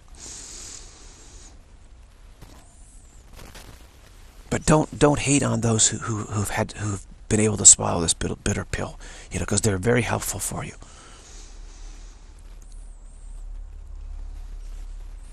So we've got to we we have to do better. You know, the Tibetans know what's going on. Tibetan, the great Nyingma masters. Manjushri, Longchenpa, they know what's going on. Jamyang Khyentse Chokyi Lodro, he knows what's going on with America, the United States. It's going to crash. There's no doubt about it. It's, it's finished. Okay, so, moving on, right? Moving on. What do we get out of it? Well, we got a lot out of it, actually. And many are moving on. They're start they're, they're moving on to what? Spiritual truth. What we realized is is the path to spiritual truth has to you have to go fast. You can't dawdle along, you know. You gotta go fast because these these instances in the world of freedom, free society arising are very rare and precious. A relatively free society. And they don't last long. They don't last long. So when you when they do arise, when the opportunity arises, you have to seize the opportunity like its breath. Okay, this is what I've done. It's like my practice is like my breath. I seize it as avidly as I, I want to seize my next breath. Like I was someone was holding me underwater and I've run out of oxygen and you know that feeling like you're just absolutely desperate to get oxygen. That's the feeling I have towards spiritual practice. I'm absolutely desperate to practice it. So I have this avid desperation for it. You have to have that. Because it doesn't last in this world. It has never lasted. Relatively free societies, like you know, you might call it the the, uh, the Athenian, you know, society, the the, the the the Senate in Rome, you know, there's, there's various times when there's been some experiment with let's let's be more free in terms of people considering their freedom, their true freedom. Let's not their true education. Let's not put ourselves under a des, you know a, a demagogue, emperor, tyrant, you know, bureaucracy, whatever. Let's not let's not strangle ourselves. Let's open up and, and take a peek and let's see can we really be free of, of delusion, you know, this dream of existence. Th those opportunities have arisen throughout history, but they never have lasted. And our desire in America is make it last, and it didn't last. It's gone. It's gone. It's already gone, actually. Trump, I I don't believe he'll be he would be able to fix it.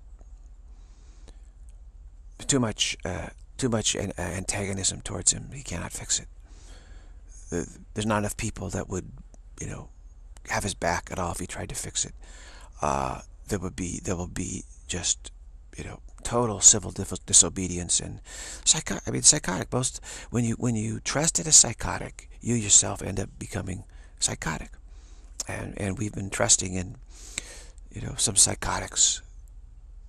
Definitely, 44 is just you know extremely psychotic. I saw that right away back in, I don't know, what, what was it? First running for the first term. Was it 2008? And uh, I just, I didn't know, I had no idea who he was. Never heard of him, no idea. I said, okay, maybe he's great. Maybe everyone's saying this guy's great. I mean, this is this is the next great thing. I said, okay, maybe he is. That's that's great. I hope he is. So I just listened to a debate. I paid attention to to his. I just looked at his mind. I just let me just read his mind, which I can do. And I and I and, and after a little while, I said, wow, this is this guy's really a sicko. Very psychotic. A psychopath. He's a psychopath. No question about it. At that point, I realized, wow, okay. I hope he doesn't win. And then when he won, I said, we're in big trouble. And then when he was reelected, I said, that's it. You know, I said when he won the reelection in 2012, I said, America's finished. It's done. It's finished. We, we reelected a, a psychopath president. That just shows how far we have fallen. We don't want freedom anymore. We don't want it. We want conditioning. We want to be propagandized. And he'll do that, that is for sure. He'll make sure we're, we're good little sheeple. And so once you get used to being sheeple, it's it's then it's it's hard to pull out of that. You can't pulling out of the tail tailspin doesn't happen. Doesn't happen. I don't care what kind of pilot. You get Trump in there, he's not going to be able to pull that plane out of a tailspin, actually. It's too late. Tibetans say it's too late.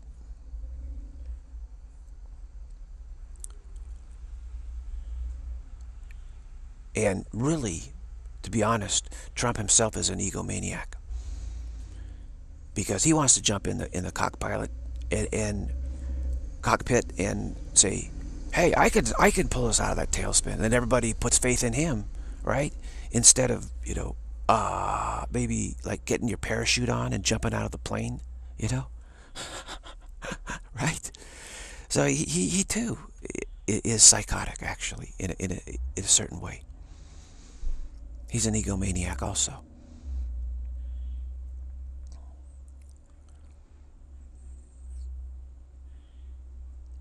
Because it's too late. It's too late. Plane is going to crash. And he, he wants everyone to fixate on him and say, oh, here's our Savior. When the truth of the matter is, we need to bail out. Not put faith in, in, in, any pilot right now at this point, but we're, we're putting our faith in bailing out and being picked up at sea by these rescue boats who, who know that the plane is crashing. So this is a great analogy. Is how we doing here? 130. Okay. Is that the Tibetan, for instance, the Nyingma masters, we start with Manjushri, Padmasambhava, Longchenpa, Jamyang Khyentse Chokyi Lodro, etc. The, the great Bodhisattva lineage. Okay. Dzogchen Bodhisattva lineage is, is you know, as good as it gets. As good as it gets. They're, they're stupendous in their clarity. They have the stupendous, perfect clarity. They see the plane is going to crash. They already know. So they've got boats. They know where it's going to crash.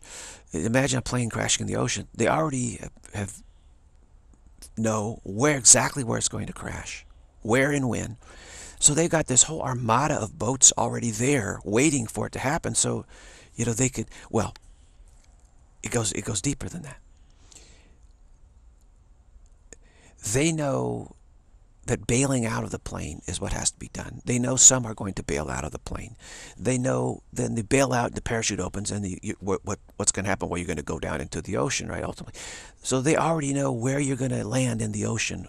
The, those who parachute out, they're already there with not only boats, but these huge flotation devices, these soft, like air mattresses, like gigantic air pillows in the ocean. So as you parachute down and, and, you think you're going to go into the ocean, you don't go into the ocean. You go into this air pillow, this gigantic, wonderful air pillow that cushions your fall, your, your fall, the parachute fall just beautifully. Oh.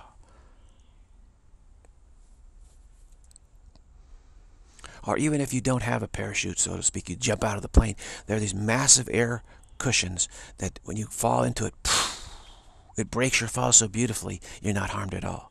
Eh, maybe you're a little bruised or something, but you're fine. And then they have all these boats there. Immediately, they, they, they help you get, get from the air cushion into these beautiful cruise ships, these gorgeous cruise ships they have. You know, like they're there, like that. And instead of being, you know, at the bottom of the ocean, you're like cruising to this gorgeous place and resort and you're playing golf. you know, everything's like fabulous. Everything's perfect. So they've already got that all arranged. Because they see everything happening, you know. It's all one to them. There's no time involved. Everything is in the now. So they can see our, our choices and what our choices pattern of our attention and what we're trying to do, our choices then are going to lead. We're going to choose this at some point. It's, so, so, so they already know that. They're not, they're not bound by time, the belief in time at all. It's, it's not linear. It's all now. So they've already prepared to help us out, to bail out of what, what's going to happen. They've already prepared it. So we have to start recognizing this fact and accepting the fact that Everything's already prepared to help us out. It's okay. And we'll, we'll build a better civilization at some point. Much better.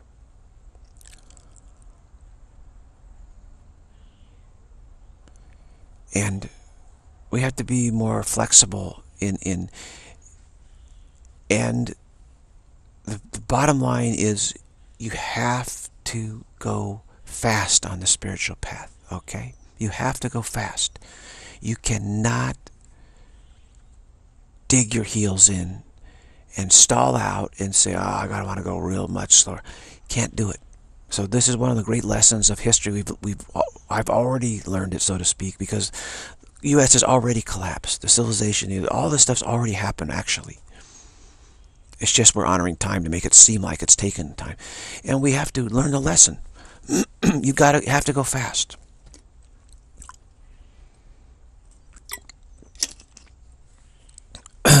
because our stall out is nipping at our heels. And unless we succeed, we're going to then go back to psychosis and stall out. And the civilization, you're thinking that the civilization, if, if, the, if the citizens don't care and don't want a civilization to last, guess what? It doesn't last. They elect leaders that destroy it, which is what we've done.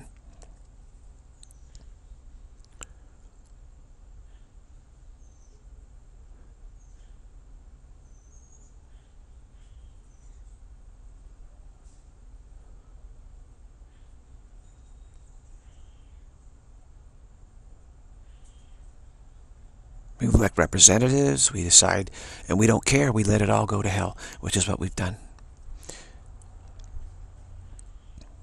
Too many have done that. Too many. Stalled out.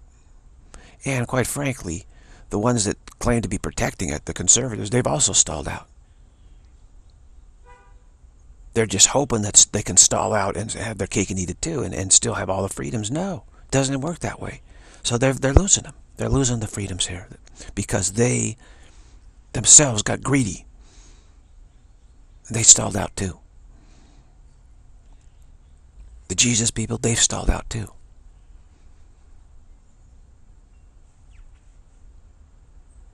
They kept thinking they can put Jesus in time. His message is a, is a, a message about that time is real. No, it's not. So they stalled out. Everyone stalled out, so you can't support a civilization that is all about empowering, not stalling out, when everyone has decided to stall out. It doesn't work that way. It never will work that way. So you never, don't ever trust any sort of situation in this world to last. Trust in your own practice, the speed of your practice. Trust in the grace of God, the grace of the gurus, the speed of your practice. Put your faith in the speed of your practice.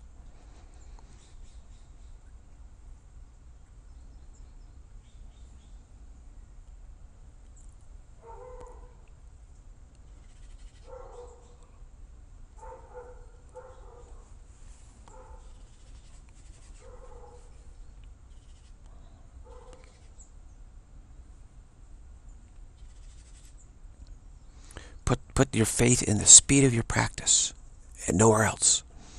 Put the faith in the speed of your practice and nowhere else.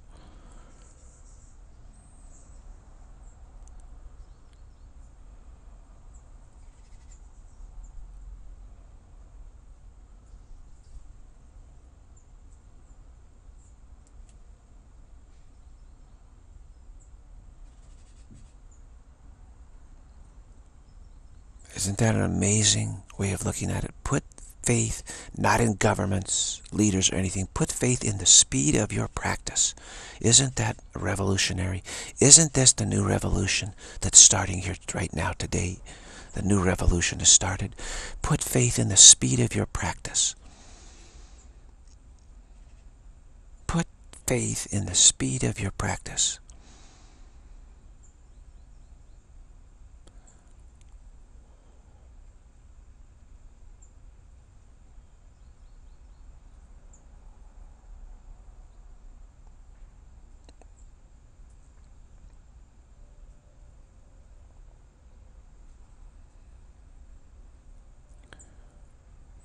And nowhere else.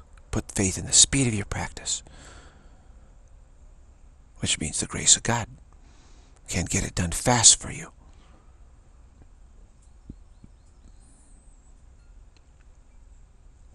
Don't put your faith in institutions.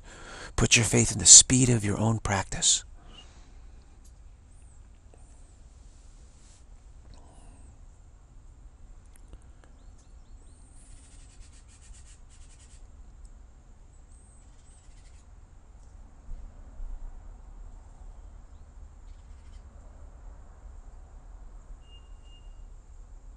Now, where, how could I say such a thing?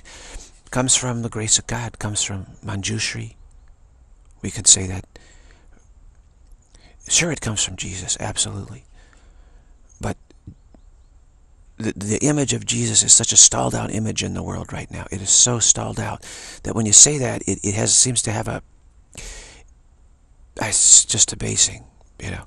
But yeah, it comes from Jesus, of course. It also comes from Manjushri, of course. This is the grace of God. The awake, our awakened brothers, it comes from them, of course. Put faith in the speed of your practice. But at least with Manjushri, nobody knows what I'm talking about. So they can listen to what I'm saying. But if you say, this is what Jesus says, immediately, you know, a trillion defenses arise. Gets in the way, unfortunately. I mean, Jesus is so neglected on, on Facebook by, you know, intelligent people and stuff. It's amazing.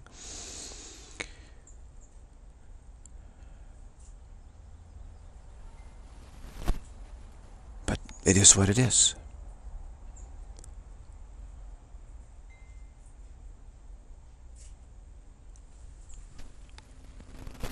Yeah, it is what it is. So I'm not going to bang my head against that wall too much, you know, it really. As soon as you say Jesus, people think you're an idiot immediately. As part of the stall out. They say, no, no, no, no. Jesus how to pilot the plane. The, psychotic in the White House knows how to pilot the plane. He's, he's, he's the great pilot. Jesus got no idea. He's the one that caused the tailspin in the first place, you know. They got it so backwards, you know, the, the desperation. The, the, the logic of desperation has gripped Americans and a lot of people in the world, actually, by osmosis. Again, they, they, they just want to believe that everything is going to continue on great. The greatness of America is going to continue. Everything's going to you know, they can't bear the thought that it won't. They just can't. I, I've noticed this so many times. They can't. They can't bring themselves. They're not capable. They don't have the speed. They don't trust in the speed of their path. So what else are they going to trust in? Some great leader, right? Political leader. What else can they do? So I trust in the speed of my path. Okay? That's all I trust in. That's all anyone should should trust in, actually people have not liked me in my life because they say you're so arrogant, so confident, too confident. Well, I'm trusting in the speed of my path. I said, I'm going to be enlightened this lifetime. Watch, I will do it. And they said, you're, you're, you're egomaniac. I said, no, it's just the opposite. I trust in the grace of God. And the grace of God will give me a rapid path. To, to trust that you won't be enlightened in this lifetime is to be an egomaniac and to believe, not believe in God's grace, which means you're trying to replace God. That's what an egomaniac is. To say, I can't be enlightened. That's the ego. The ego always says, no, no, no, no, not this life. You can't do it this life. Maybe the next one. That's the ego. That's arrogance. That's arrogance to believe we can change what we are. So, you know, to stall out. Stalling out is arrogance. So I said, no, I'm going to do it. And that, you know, people just said, wow we don't think you can. So in other words, they didn't trust in this in the speed of their own path enough. They said, well, I can make some progress. That's what everybody told me. No, I think I can make some progress this life. You know, I'm, I'm, I said, no, I'm not going to make progress. I'm going to finish. I'm going to be a bodhisattva. I'm going to finish. I trust in the speed of my path. Absolutely. And that's what you have to do. If you don't do that, you will stall out and follow some psychotic, which is what has happened. All those who, who told told me that I'm an you know arrogant fool have stalled out and are, and are putting faith in a psychotic, a psychopath, and a psychopathic path. That's what they're doing now. Which is the path of believing that we can modify what we are, which is total arrogance. So in other words, they are now following a path of total arrogance. So their mistake was to believe that setting down arrogance is arrogance. To say that you can set down arrogance, they said, no, no, no, no, I can't do that. Maybe after you're dead you can do it, but not while you're, you know, not while you're here. In other words, not while there's any evidence that you can do it. And then, of course, if you're not here, they say, well, there's no evidence, so we can continue to believe that you can't do it. So this is this is the struggle. You know, my struggle I've had in the world is trusting the speed of my path. Nobody else trusted it except the gurus.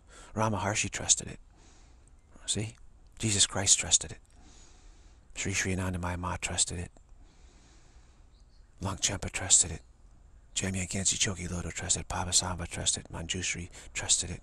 Ramana Maharshi trusted it. I said that before. We'll mention it again. it's worth mentioning. Ramana Maharshi is so fabulous, you know. He's so he's so great. He's like the Jesus of our times, you know, really.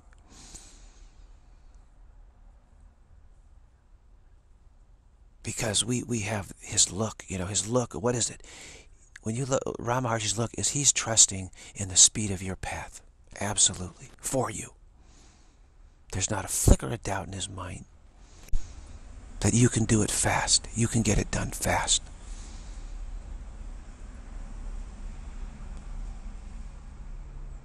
And don't think that, that that isn't helpful. It's very helpful. You know, they can claim that Jesus didn't exist or no evidence, blah, blah, blah, blah, blah. But they can't do that with Ramana Maharshi, can they? So that they just tell you back, ignore him. Who? I don't know who that is. Yeah. Anandamayi Ma, I never heard of her. Yeah. They just ignore it. See, the ego just tells you ignore the evidence. Follow a psych psychopath and ignore the evidence that you can trust in the speed of your own path.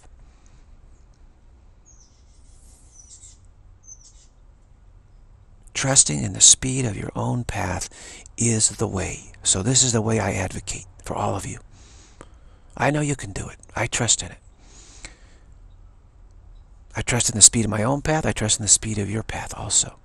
And I say, put your faith in the speed of your own path. And, and that is your lifeline. You can do it fast.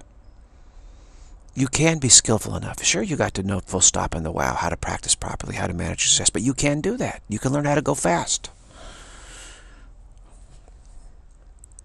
As this Dakini, I was going up the steps. It's on the video, actually. This girl, this girl's running down the steps, like a high school girl or something. And you hear in the video, she, she yells out, Go, Speed Racer. I didn't I didn't hear that when I was doing it. I was so focused on taping myself running up the stairs. But on the video, you can hear it. As she passes me, she says, Go Speed Racer. You know.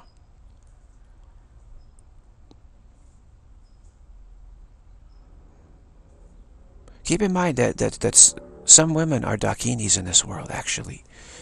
And, and, and they're subtle. They're helpful. They're very helpful, actually. They, they support the speed trusting in the speed of your path. But they do it subtly because they don't want us seem to be arrogant, you know. But they do it anyway.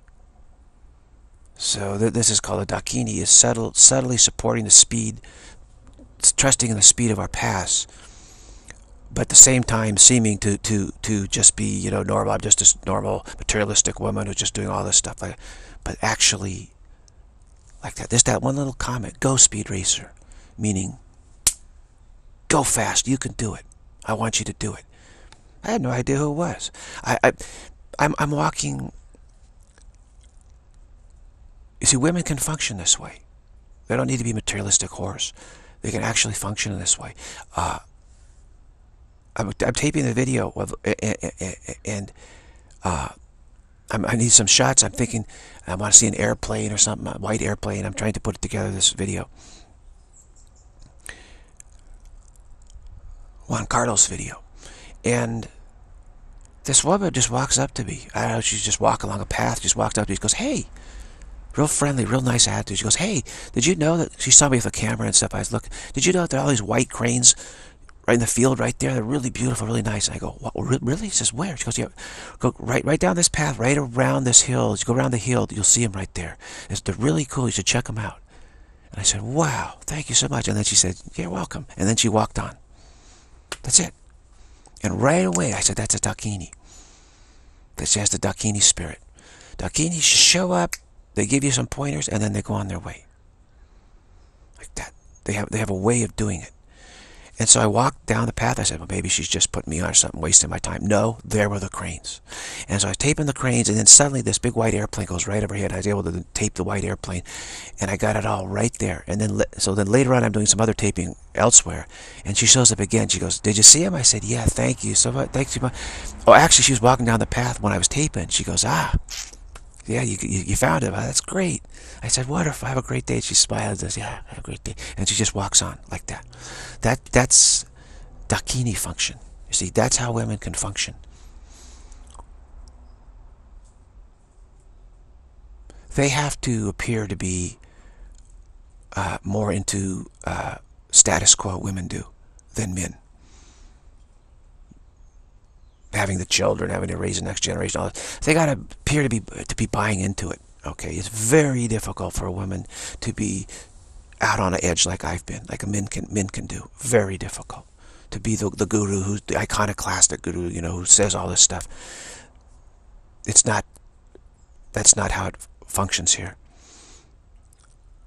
They have to feel, they have to feel as though they're being supportive of everything, kind of. I gotta, but the Dakini can just say a little thing, a little comment, a little this, little that, that helps reassure the men who are, you know, on the front lines, so to speak. Like, okay, oh, okay, okay. They can remind you of stuff, you know. It, absolutely, I'm experiencing that from women now. They're giving me this little heads up like that. That's the Dakini function. Where they themselves, you look at them and you say, oh, no, maybe she's just a you know yoga girl or something, but not really. Not really. Undercover Dakini. Very interesting.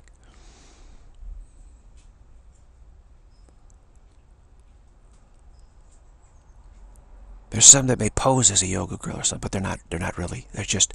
They're just having to look like I'm. I'm. I'm. I'm yeah. I'm supportive of everyone here. I'm supportive of civilization and existence. Yeah, of course, I'm a woman. I'm supposed to be supportive of that, but. As they pass me, they say, "Go speed racer." Yeah. Whisper, "Go speed racer." Yeah. That's what I really want. Yeah. And they go on. And says, Nobody even knows. very subtle, right? Women are very good at this quick subtlety. They're able to do that. They're able to do it. Nobody even knows. They're very talented at that.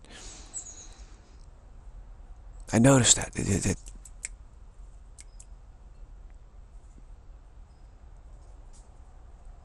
they can just a slight little thing, and then it seems like they're just being, you know, just normal, you know, psychotic, but they're not.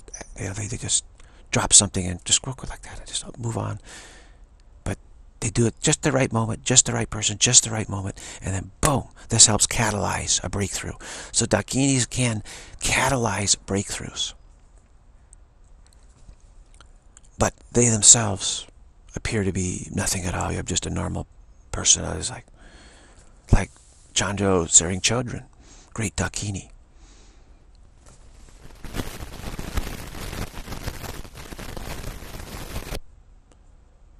But she showed up, and then she disappeared. That's it. See, that's a Dakini function.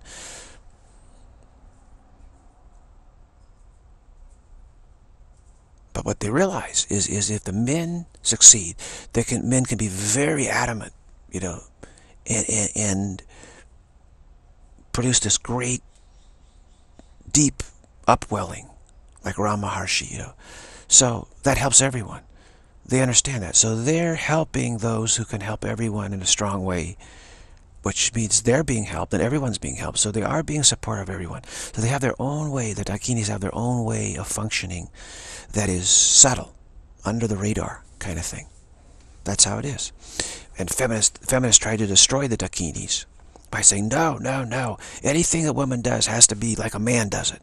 This really was, a, was a, sabotage of spiritual culture feminism. It absolutely was. Because act actually, culture wor works much better when women are allowed to be subtle and give subtle help. That's what actually works. That's what their, their genius is at. But feminism tried to destroy that, which is why we're in this tailspin. Absolutely. One of the big causative reasons of is we're in this tailspin is feminism. got to be like men. You know, I was, I was just watching this, looking this magazine, you know, Runners something, World or something, and it's just like blowing my mind. It, it's how masculine all these women are and, and how arrogant they are and how non-subtle they are. They've all been trained to be these Amazon morons. They've all been trained to be morons. And this is why the civilization is collapsing. The women are morons now. Most of them, especially the younger ones. Not all of them. okay, the Dakinis are still coming into the world, and but culture, culturally, it's taboo now. You're supposed to be this, you know, whatever man can do, I can do better, and I'm just as tough as men. It's amazing. Look at I can't I can't hardly believe it. You know, it, it's look at these magazines, these pictures. I mean, it's just they're so I mean, they're more fanatical about physical fitness and strength training and toughness than men are. They're absolute fanatics about being non-subtle. And that throws everything out of whack, everything out of balance. It, it, it, it, it stalls everything out, stalls it all out. Stalls everything out in this way, stalls everything out.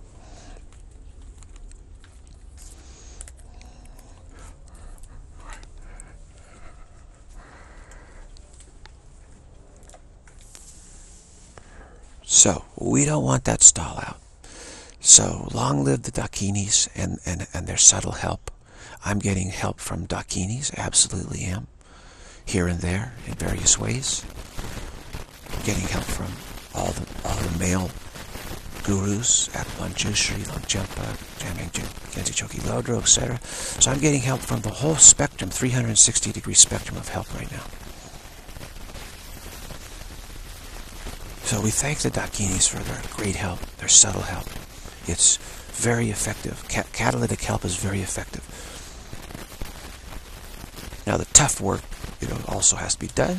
That's very much a male thing in terms of, you know, there's a lot of stuff that men do is super great that they do also. This abomination of feminism, you know, we know it's an abomination. It's a sabotage effort, and it's been successful in sabotaging, our, you know, spiritual progress, really. Genuine spiritual progress. Trusting in the speed of your path. People don't trust in the speed of their path anymore, you know.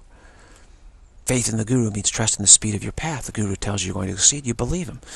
Sri Nisargadatta Maharaj's Guru said, trust in me, do this, and you will succeed, I guarantee you. And Maharaj trusted that. He absolutely trusted it. I says, my Guru told me this is going to work for me. I trust that, so I'm going to do it. Five years he did it. It was, it was amazing extremely fast. That's how it has to happen.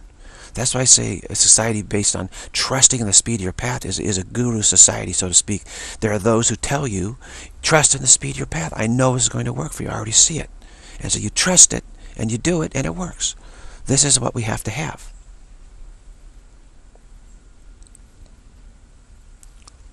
This is what we have to have. and the Dakinis are weaving the tapestry of catalyzing through throughout culture to trust in the speed of the path too. See, that's how it works. That's how it works.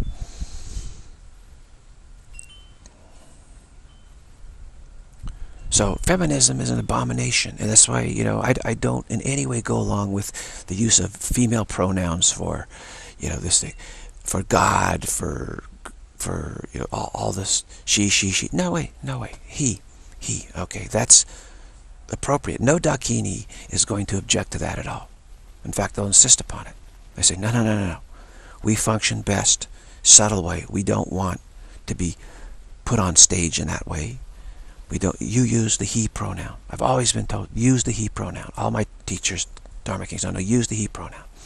Don't say she. Use he. That's that's better. Don't try to put me up in the male role. That's going to mess everything up. They tried to put Sri Sri Anandamayi Ma, that role. That's, that's, that's, she said, no, no, no, he. She always used the male pronoun.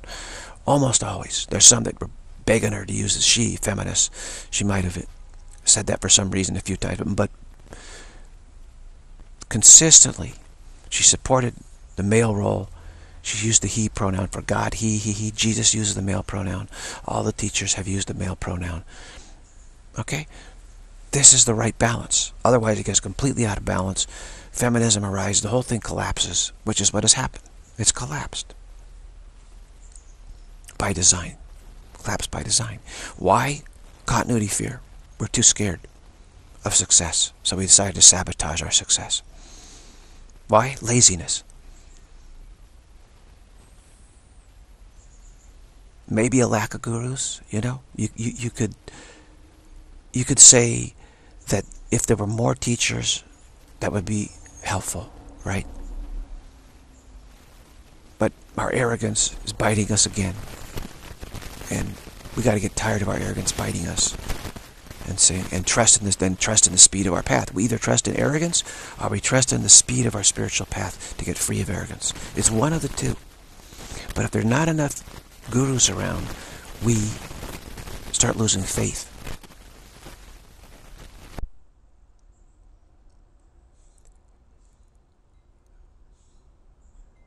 now you could put some of the blame on protestantism i do some on catholicism some on protestantism protestantism brought this materialism into the world too much because they put all their faith in Jesus and saying there is no other teacher. He's the only one. This is you know ruinous. It's stupid. Because then you could go to work on sabotaging that teacher as what has happened. And what do you got then? You can always sabotage your belief in anyone. But if you've got thousands of great gurus, enlightened gurus, that isn't going to work very well. So, in, in India, they don't say there's just one guru. This is stupid. They say there's many, many gurus. You don't like this one, there's, there's one here. There's always one for you. So it's much more difficult to sabotage that type of society, even though it can ultimately. We can always, if we want to stall out, we'll stall out. So Protestantism got rid of the saints of Catholicism. Now, there's, there's Catholicism and there's Roman Catholicism. Keep this in mind. I love Catholicism. I don't love Roman Catholicism.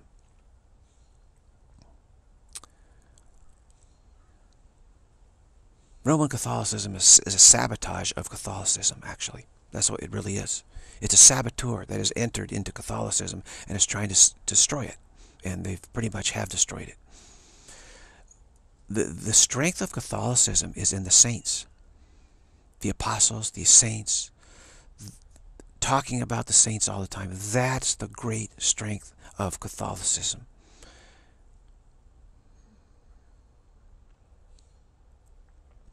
And Roman Catholicism is trying to get rid of that by it's all about Mary, you know, Virgin Mary. She's the only saint you need which is just the Isis cult from Egypt, actually. Part, you know, it's, it's, so gradually they've devalued all the saints more and more and more and more and more.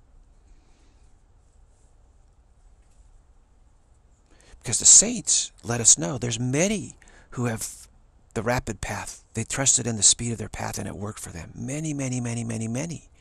If you just say, no, there's only Jesus, there are no saints, forget about all that then where, where is the evidence that our path can be rapid? No, no, it's just all Jesus. Once we die, we'll be saved. Wait a minute. That's the ego, isn't it?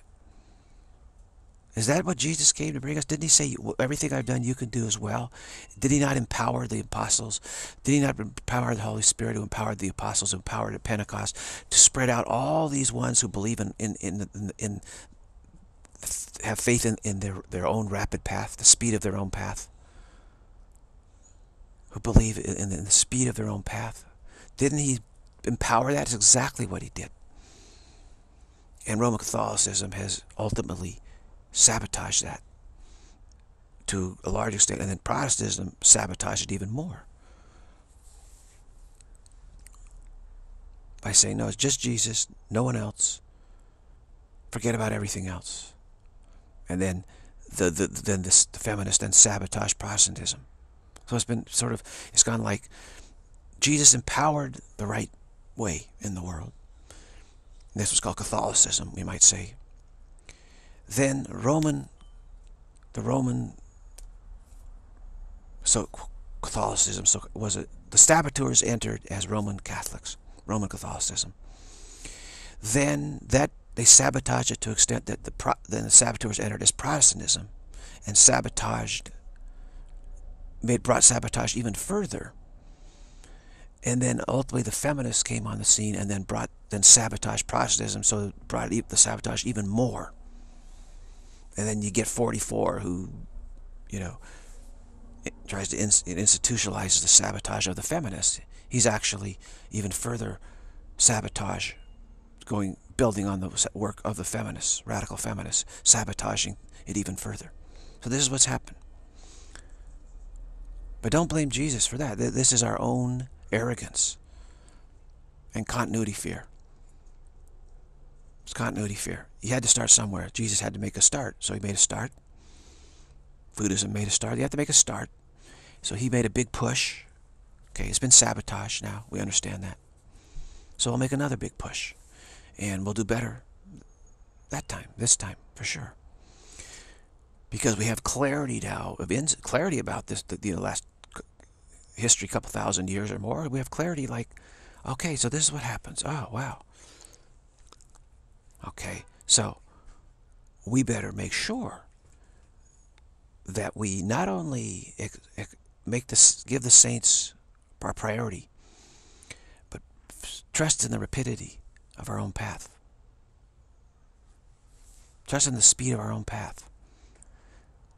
Put, put all our faith in, in the speed of our own path.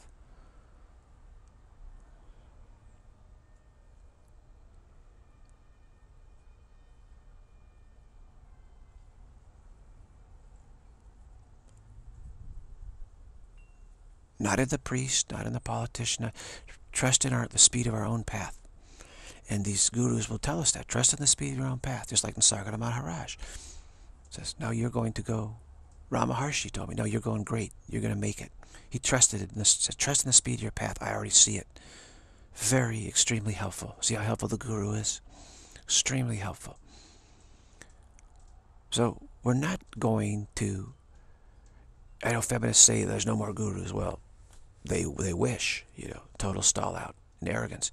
Now, the next phase is is massive amounts of gurus. Massive amounts of gurus. You know, they want to say now, well, all the gurus are in the past, so they quote this past guru, past guru. Well, that's fine. Thank you for doing that. But at the same hand, they say, but there aren't going to be any more gurus. Huh? What?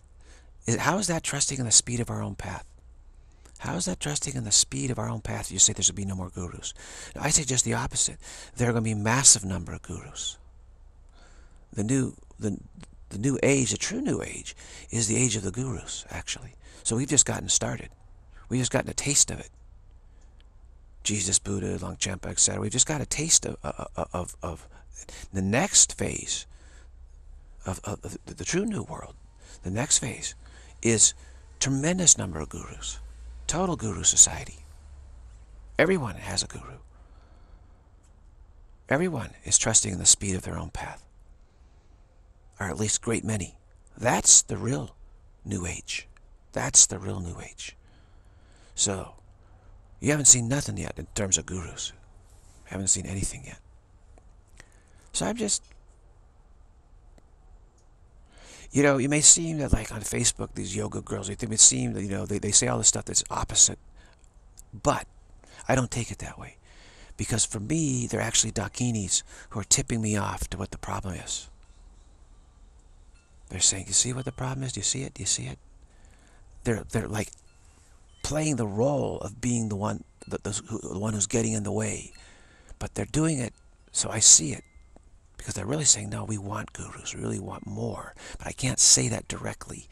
But let me just tip you off. To, so this is what this is what the ego's trying to do. You see, trying to get prevent it from happening. So that's how I take it. Uh, every everyone comes to me. It's through grace. It's they're tipping me off to something.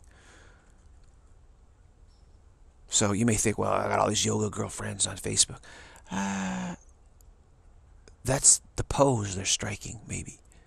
But my experience is they're tipping me off to, to stuff. They're tipsters.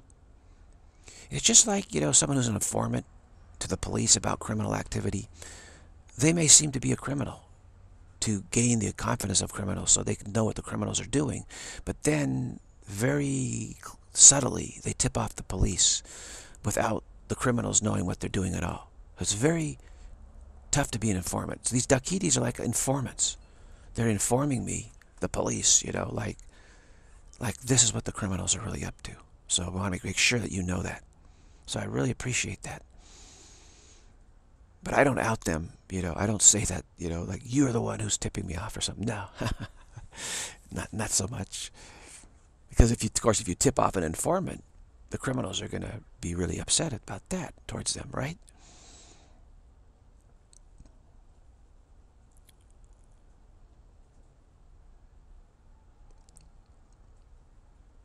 It's funny. I mean, I, I say, why do I get this friend request? This is like total yoga girl, you know, 100%. But they say, wait a minute. Maybe it's even a little bit over the top. Maybe, maybe they're a tipster. Maybe they're an informant.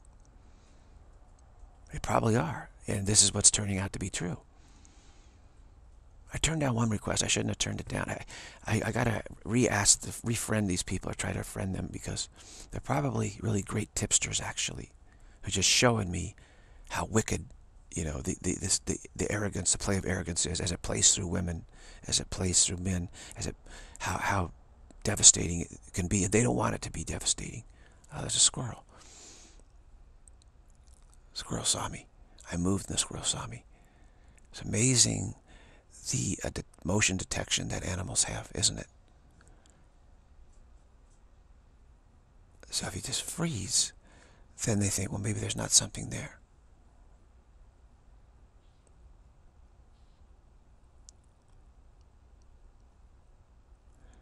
So I've done that. Like, animals are very cute with motion detection. So if there's a wild animal nearby or something, if I just don't move at all, like a stone, then they'll just walk by me like there's nothing there. It's motion, but the slightest motion, instantly, they think alarm bells go off and they and they and they flee, you know, instantly. So if you just be very still, don't move.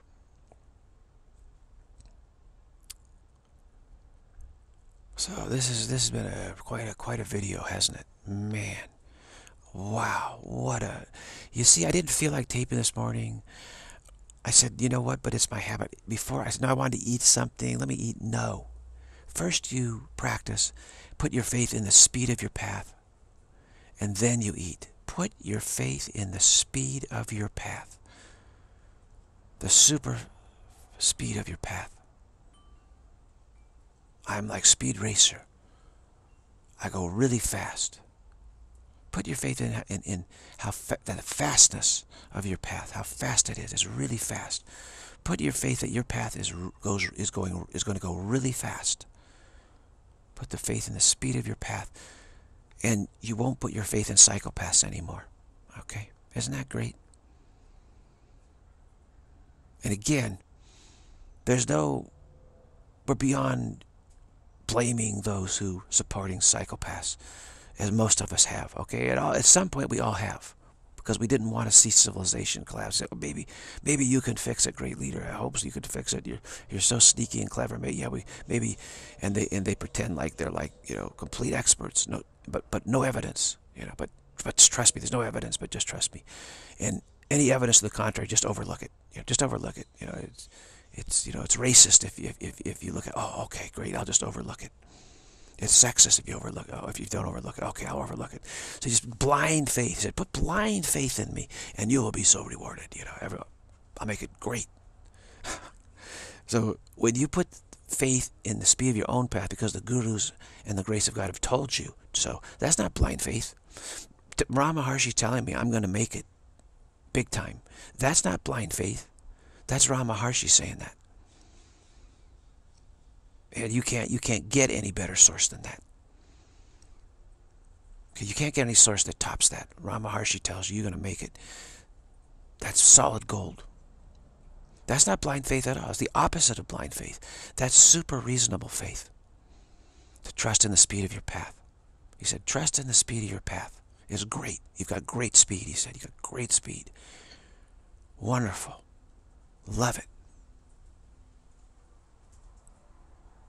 Longchenpa, wow, Jamyang Khyentse Chokyi Lodro, he, you know, I said, why, why, why, why, he, he loves me. I just like, what's he loving? The speed of my path, trusting in the speed of my path. He says, your path is so fast. This, this sends the gurus into a tizzy, you know. They're just giddy, you know. I mean, if you want the gurus to love you, man, trust in the speed of your path.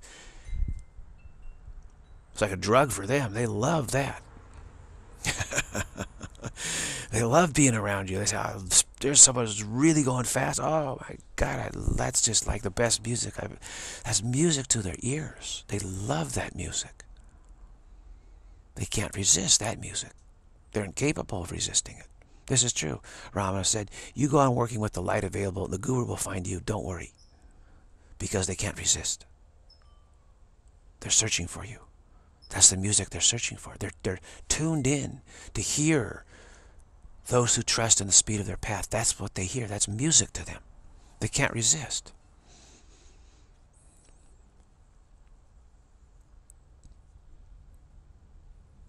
You know, gurus love music too, right? They put on their turntable Ah, oh, I want to listen to that, this song.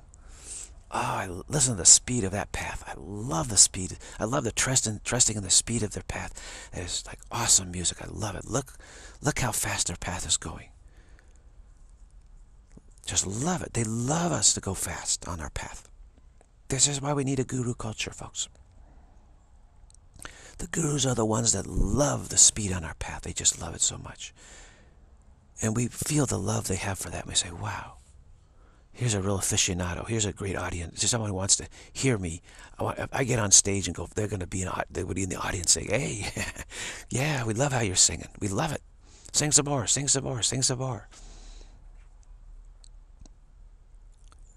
So they, they encourage us by the love of, of, of their speed on the path. They encourage us on the path because they love it so much. I do too. I love it. I love it. I see someone going fast. This is what I love. I say, this is great. You're going fast. That's wonderful. Go faster. Trust in it. Trust in going even faster. And you do that through the wow. Being very good at the, at the wow practice.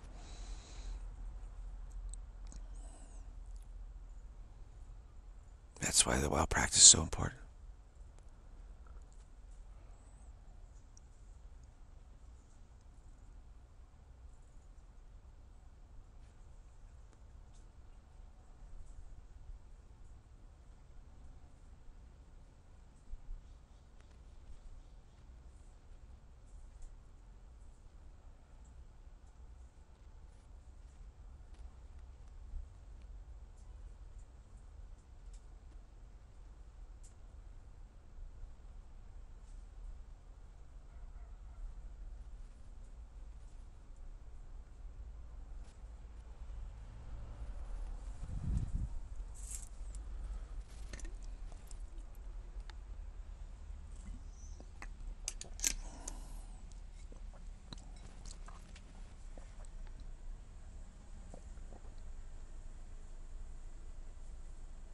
What's this?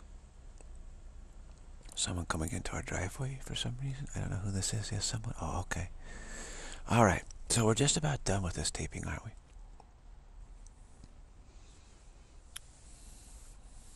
Should I finish the taping or someone has arrived here or should I continue it? Question. I'll continue it. just because someone arrives, we don't stop trusting in the speed of our path, do we?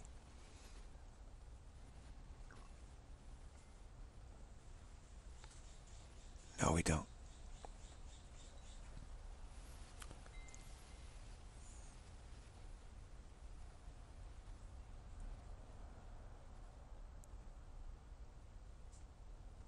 Isn't this amazing? Normally in culture, you'd stop, oh, greet them and stuff. No, I'm taping. That's more important than eating. Equal importance to breathing. You don't stop breathing because somebody arrives to you. So do you stop your practice because someone arrives? So you see in our culture, nobody is oblivious to, our, to what our priorities have to be. Trusting in the speed of our path. They're oblivious to it. They don't trust in the speed of their path. They trust in death, actually. They trust in despair. They trust in the modif modification capabilities, the causative nature of effects. Despair. Effects are not causative. God, why? Because God created it that way. That ideas are causative and effects are the experiencing of an idea, but they're not causative of the idea. That's how God created reality. That's the way it is. We're trying to change that. We're trying to reverse it. Effects are not causative.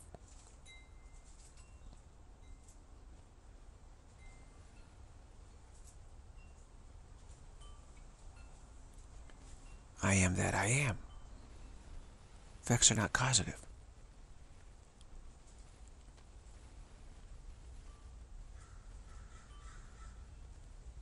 There's I, I. In between is the experiencing. It doesn't modify the I, I at all. Intrinsic spaciousness is not modified by the experiencing that arises. The screen is not modified by what appears on the screen. This is all, you know, all this buzzwords stuff, so...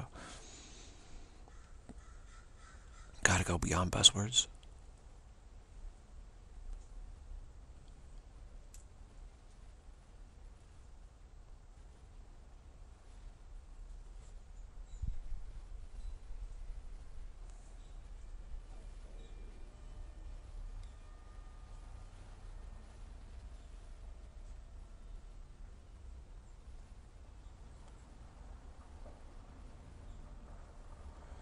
Uh, my stomach now is starting to complain. It says, where's my food? I said, well, first we, we, we tape. First we tape and then we eat, right? Okay. Not a problem. Great.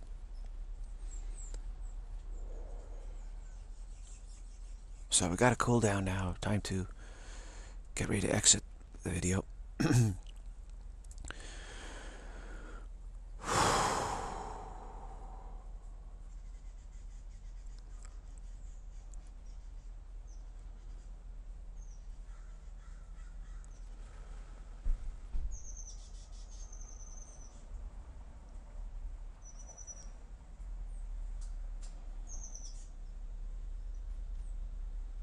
So some of you can back off, you know, following the psychopaths, start trusting the speed of your own path, do it. You're not going to be denigrated like, oh, you know, you used to support that psychopath. How terrible. No, you'll be welcome with open arms because you're trusting in the speed of the path. That's wonderful. That's great. I think there's so many people who are afraid to drop the support of the psychopath and that and the, his succession because they think that they'll, they'll, be they'll be ravaged and hated. Not it's the opposite. We'll say terrific move you made. Super wise move you made. Welcome to the trusting in the speed of your own path. You're among friends here because we trust in the speed of our own path as well. And my best friends are the ones who trust in the speed of their path. I love it. I love it. That's what it's all about. And of course, I've been someone for 50 years, really my whole life, but really intensely focused on it, trusting. Up to 10 years old, I, I kept I trusted this be my path. I didn't. I thought everybody would change their minds. And I realized at 10, no, they weren't. They weren't going to. They were going to continue to think I'm bad and, and crazy. So I said, "Wow, I better find some good from some real friends that, that, that back me up." Then, so I had to get serious about it. Because when you're a kid, you keep thinking that no, no, every, every, I'm okay and, and, and all the criticism I have, I just shrug it off right as a kid. But then when you're about 10, you start realizing, wait a minute, the adults really don't like me. And there's going to be consequences of that. Uh-oh. And then, then you start panicking, and then you have to really get serious. So I've trusted in the speed of my own path for, for 50 years, you know, intensely worked at it, trusting in it. So I have a lot of trials and tribulations I've gone through because er, almost most everyone I meet doesn't trust in the speed of their own path at all. It's very rare right now you come across someone who does. It's very great to come across that. Really is very great. Very great. That's a, that's a true friend. True friend is one who's trusting the speed of their own path. The ones who don't trust in the speed of their own path, they're trusting in your death, in your despair, that you will despair so badly that it will change reality and make effects causative. You know, that's what they're trusting in. They're trusting in your despair, your suffering. They're trusting you're going to suffer so bad that's going to change reality. And that's what happened to be. Everybody trusted in that. And when I finally lost my nerve about trusting the speed of my path, then I suffered so terribly because I wanted to help everyone. I said, oh, oh, I got pushed me in that direction. So I suffered just hideously. So the worst. And they believe that that, see, they believe this is going to, going to save us all. So, okay, we know you're going to save us, but this is, but this is how you're going to do it.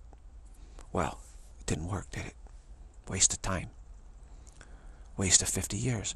But they're willing to waste your, your life, life, life after life after life forever. So what's 50 years to them, wasting your life? Well, it's a lot to me.